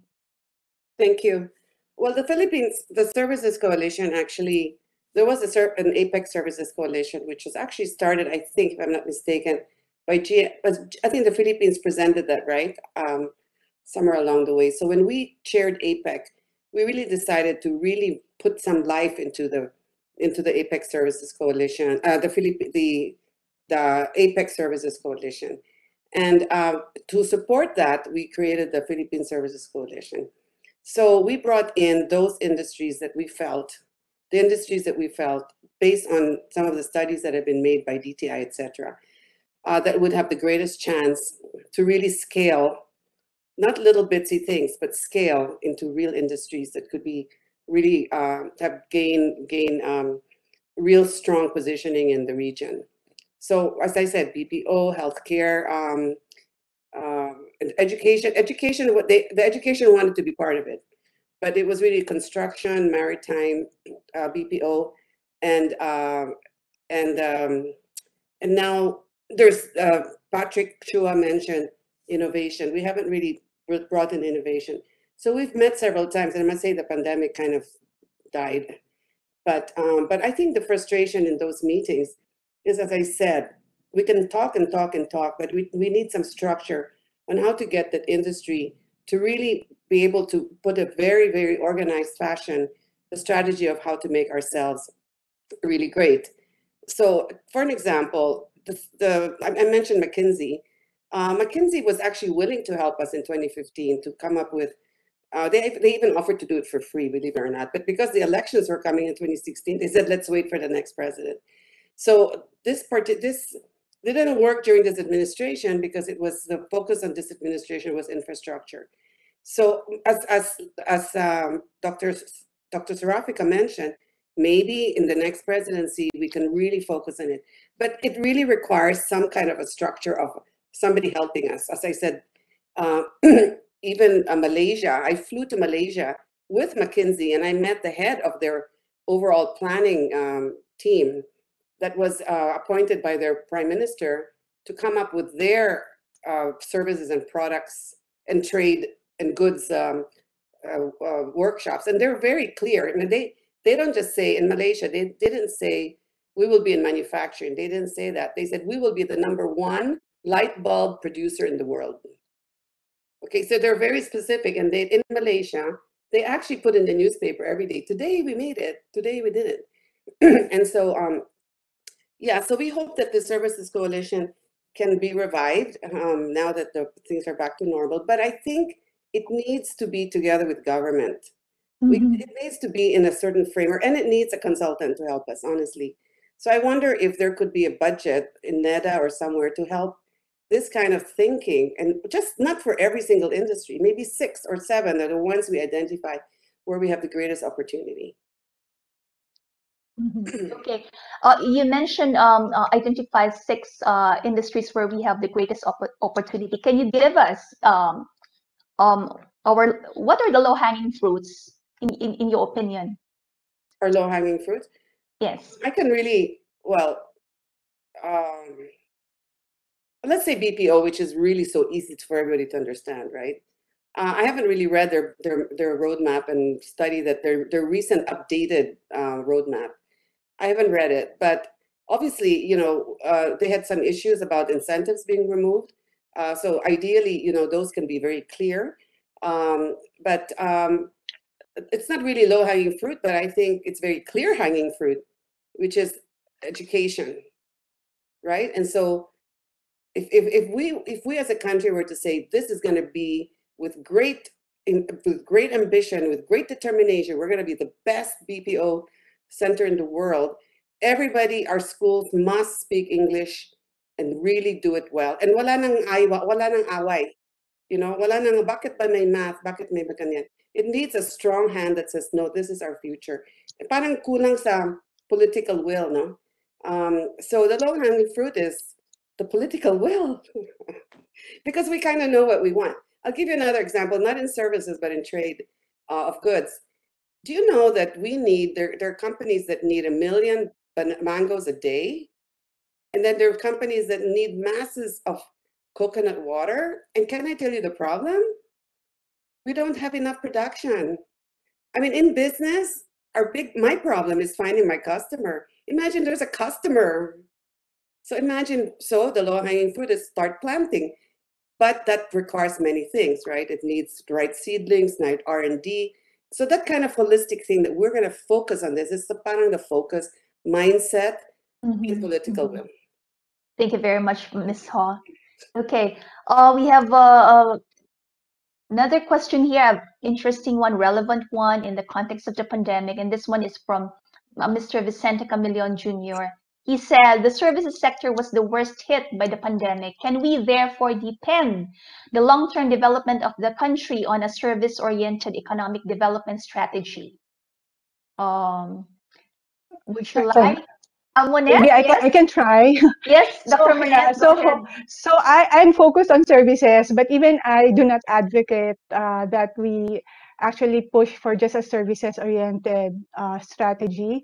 It's just that it's a stylized fact that uh, as countries evolve or grow, the share of services also grows with that. But I remember seeing this line that it's not what you do, it's how you do it. Mm. So yes, services, but we don't want the low value adding type of services, right? We want to move up the value chain. And so that's where the, the shift to digital economy is relevant. And this can apply not just for services, but uh, you know, from um, agriculture to manufacturing. So across all the different um, activities or economic sectors, we need to move up the value chain and not just services uh, without considering whether it's a high value adding service or not. Thank you very much, Dr. Serafica. Um, Director Bien, I saw you nodding your head, so may I call you first, then followed by um, um, Director Lynn and then Ms. Ho. Okay? Yeah, yeah.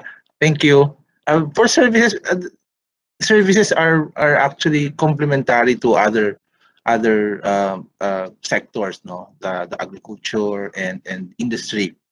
We need we need logistics, for instance, to to to transport our our our products, our agricultural products or our manufactured products from one place to another or from one from the Philippines to other countries. So that's why it's important that that that, that there are that services is uh, services is there to to to want to support the you know the the the other sectors of the economy and then second also services in itself uh, creates a, a, um, a value to, to the economy uh, as a whole. Um, now, whether or not we rely so whole, wholly or, or, or not, um, I think I agree with with Mamonet uh, that uh, that uh, we should not rely wholly to the to, to the services. But again, we cannot live without without without services. Now, having said that, um, uh, for I think there are ways that we can make our services more resilient, uh, especially when there are pandemics that that, that like like for, like for now or, or disasters or or um, or whether man-made or natural disasters. Um, we can make uh, the services uh, resilient. Uh, one example that I can think of readily is uh, making it more digital, the digital digital transformation of, of many services um, uh, many many of our services can be can be part of making them more resilient to to shocks such as um, um, um uh, pandemic and, and, and, and, so thank you thank you very much director uh, bien uh, director lynn yeah, thank you, Dr. Sheila. I think the, the short answer to the question of can we depend is No, because you have to spread your risk all the time. Hindi pwedeng isang isa lang ititinda mo. So you have to uh you have to have the goods, you have to have uh and then when you have the goods, uh that's also supported by services. Eh? The glue is the services, diba? So we need to be really competitive sa services. But that doesn't mean that it all has to be about services. Then the other thing is what the, uh, Director Bien mentioned is the, the digitalization of these services, which I also mentioned earlier. We need to uh, be competitive with that because that's where the, the future is. I mean, that will also make us more resilient. Like those who were already, those who have adopted a digital model, they were the ones who thrived during the pandemic. So ganun din, uh, we go e-digital also on our services. Mm-hmm. Thank you very much, Director Lin. Ms. Ho, any thoughts, ma'am? Ma'am, you're, you're on mute. I wanted to say during the pandemic, the shipping and logistics services did not stop, even putting all our people in harm's way. And even at massive losses, it continued to deliver food, medicine, and goods needed by the people. So I just wanted to say that because sometimes people don't notice these services are very invisible. You don't know how something got to you, but it got to you, right? Um, the second part is that the most, what I've learned in really thinking about all this, I'm not an economist, but what I notice uh, from what people, what, what I've read, is that the most successful economies are the ones with the most complex economic offerings, right? Whether it's in product services, or whatever. So the most economic, the more economic complexity the country has, the better. So hopefully we can create many, many areas where we excel. Okay, I said five, maybe we could 10. Uh, in the case of Malaysia, they picked their top 20 on their GDP and, um, and, and really just really make it, as Dr. Serafica said, go for quality. Uh, but, you know, we have to be very quick because, you know, places like the Pearl River Delta, which used to call itself the factory of the world, is now calling itself the technology center of the world. Um, you have Singapore uh, now saying it's now an innovation hub. So those are words that only come from the from intent, right? Mm -hmm. So are we going to be what? You know, are we any kind of hub?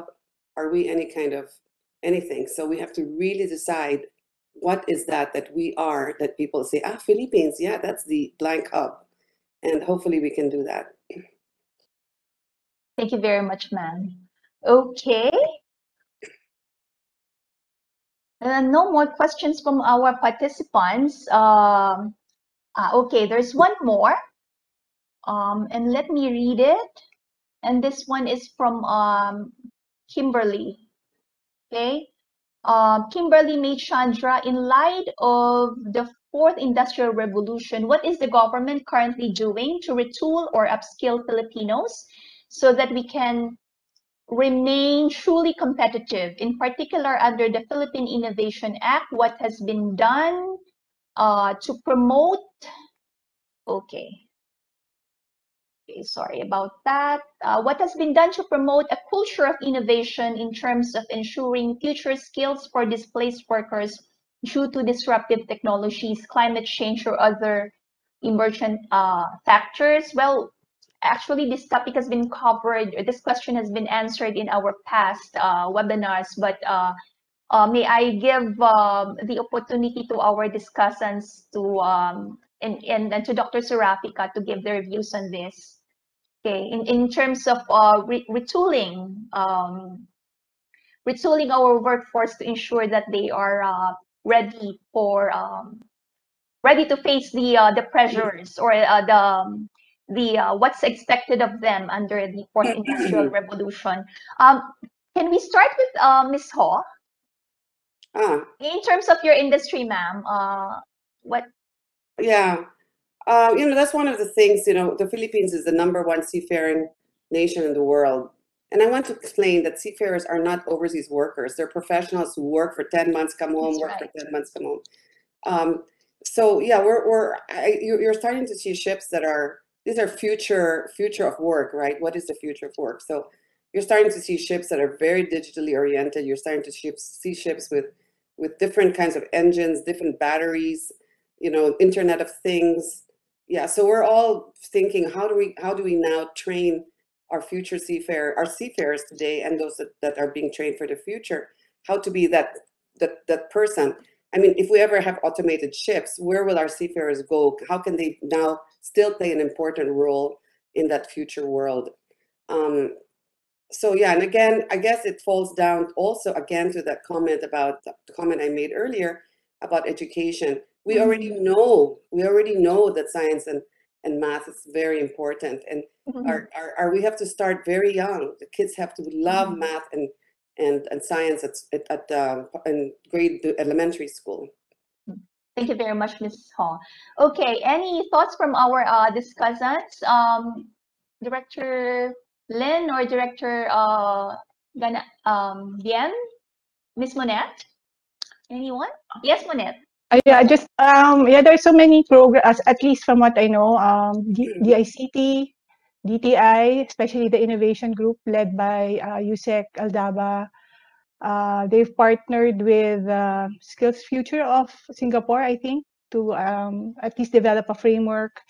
Um, uh, DICT, ne- uh, DOST. So a lot of agencies are already, um, I think, introducing programs for upskilling and reskilling. So um, the Innovation Act, well, I think NEDA is the co-chair of the Innovation Act. So perhaps uh, Director Bien would like to uh, elaborate on what what is the uh, what are the activities planned for to to implement the Innovation Act. Thank you very much, uh, Munet. Uh, Director Bien, yes, uh, go ahead.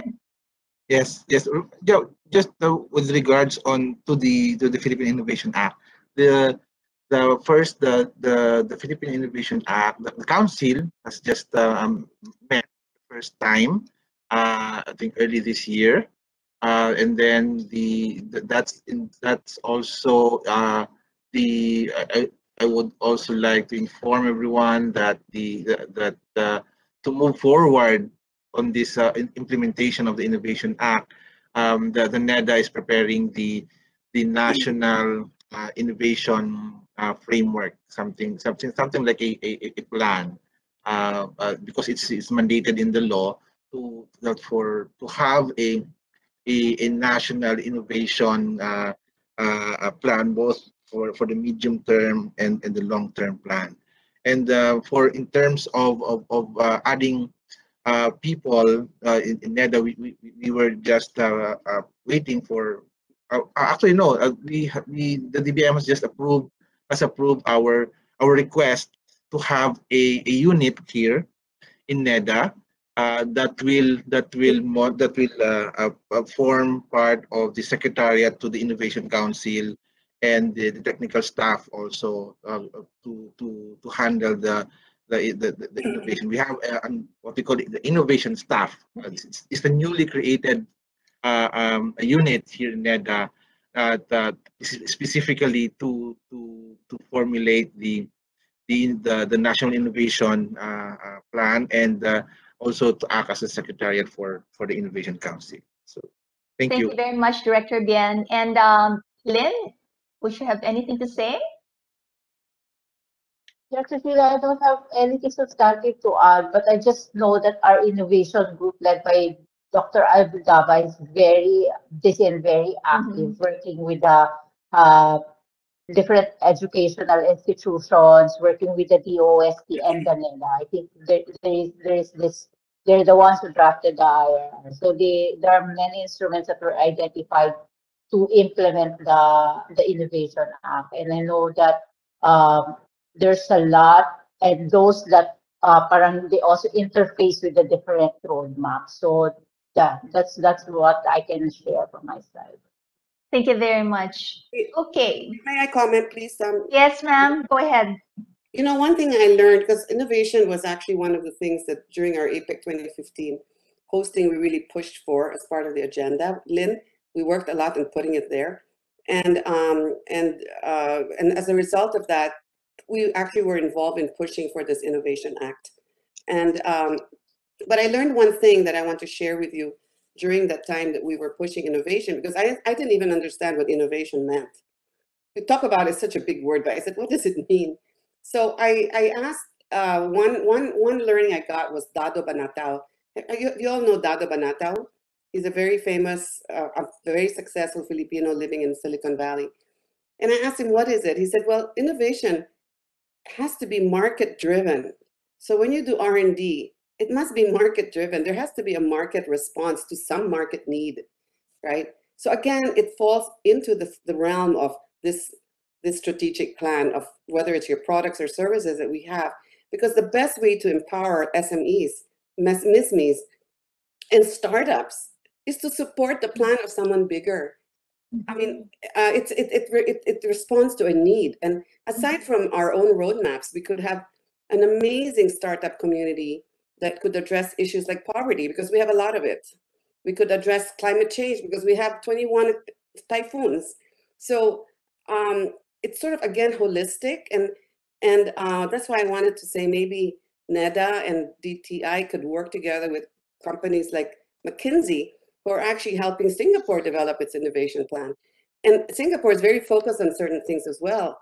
Healthcare, every single startup in the world is going to Singapore to do healthcare startups, you know, in, in real technology um, solutions for healthcare. So anyway, I just wanted to say that it's it's got to be market driven, not just this sort of academic thing. Thank, you. very much, Ms. Ho. Okay, we have a um uh, question. Okay. Um, Sherylyn uh, typed in something here. I thought about Startup Manila. The first one was held in 2015. Okay, we have a, a brief question here from Anthony uh, Joaquin Cadiz, and he is asking how he can obtain the long-term development plan of Ambition Natin 2040. Well, I think everything is in your website, uh, isn't it, uh, uh, Director Bien? Every, uh, information related to the Ambition and also the uh, PDP, they can get it from uh, the NEDA website. Okay, so friends, uh, what a lively discussion we just had, and to cap our um, to cap our um, conversation uh, this afternoon, may I ask uh, our um, um, speakers from uh, for some brief final remarks, starting with uh, Dr. Serafica.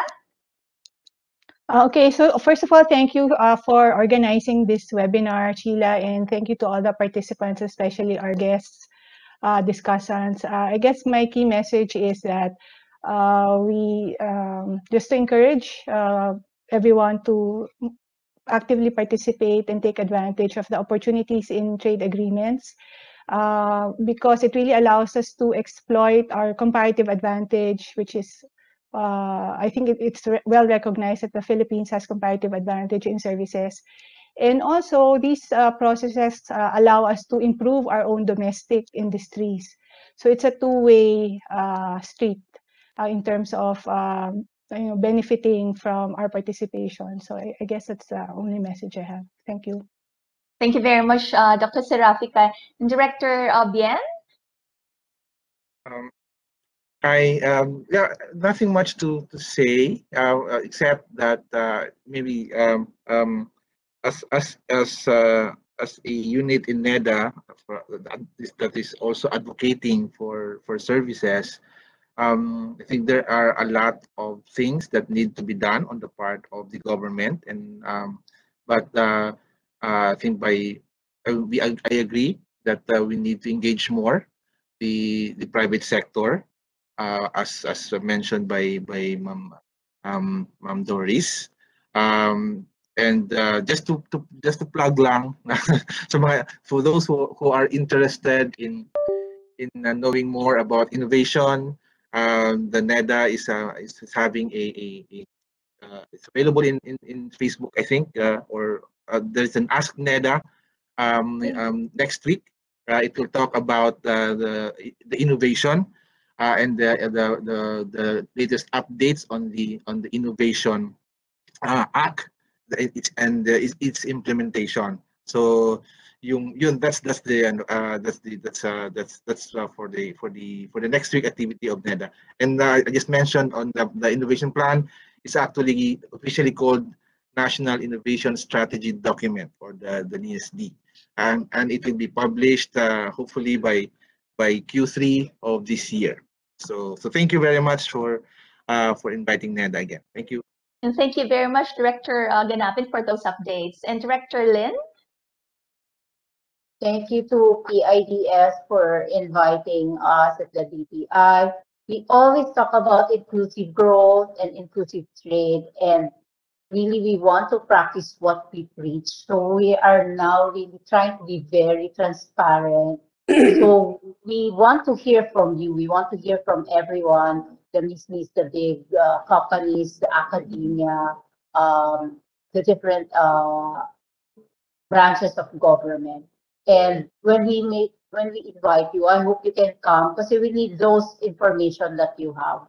We may not agree on everything at first, but I think we are all we all want this nation to be prosperous. We want uh, we want to to rise and really become um, parang be proud of our country. So I hope that you can participate in in all of our when we invitations. And then to PIDS, I hope you will continue these discussions. These are very important venues for for us, and I hope that uh, as many people can also be uh, included and invited. So thank you once again, and I look forward to the next uh, invitation.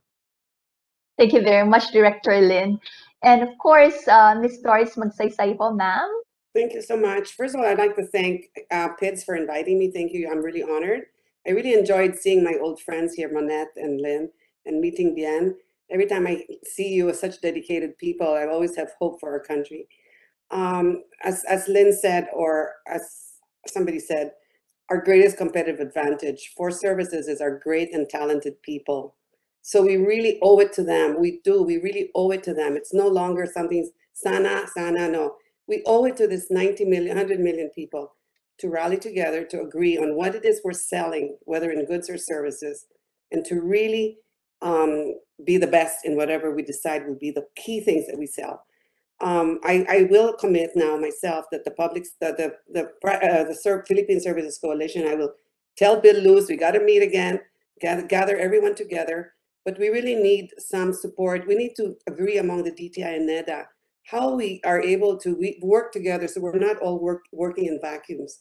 Listening to Bien, it goes from our our agencies, it gets it gets watered down by the time it gets to NEDA.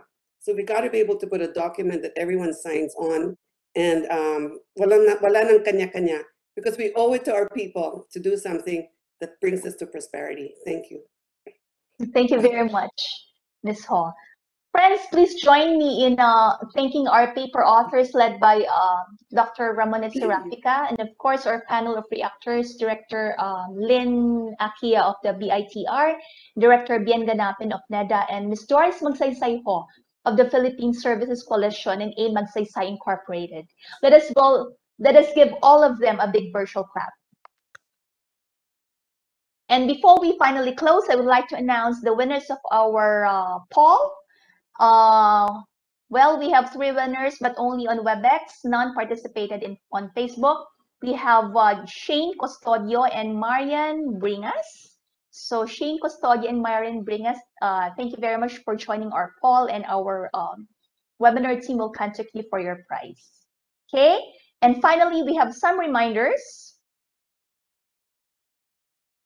So uh, you can access all the presentations from today's uh, webinar from the PIDS website and flash on the screen is also the full link to uh, the link to the full study. We encourage you to uh, to uh, uh, get a copy of, of the full study for more details about the study of Dr. Serafica and Ms. Oren.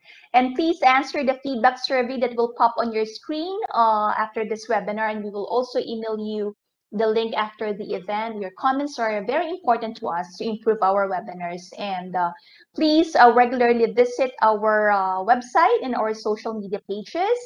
Uh, so we, we, we have a, a YouTube account, uh, I mean a YouTube channel. So all the recordings of our uh, past webinars, including our face-to-face -face, seminars before the pandemic, you can find all the recordings on our YouTube channel. And uh, please join us in our we uh, next webinar. Uh, that's on 17, next Thursday. We will talk about the readiness of Philippine cities to smart city development. And finally, we would like to thank um, we would like to acknowledge uh, the various organizations from the government, academia, civil society, business, and international development community who join us today. So their names are flashed on the screen. Um, uh, so uh, thank you very much for joining us. So this concludes our webinar for today. Stay safe, stay healthy, and stay informed too. Thank you and enjoy the rest of your day. See you next week. Maraming salamat po. Thank you again. Bye-bye.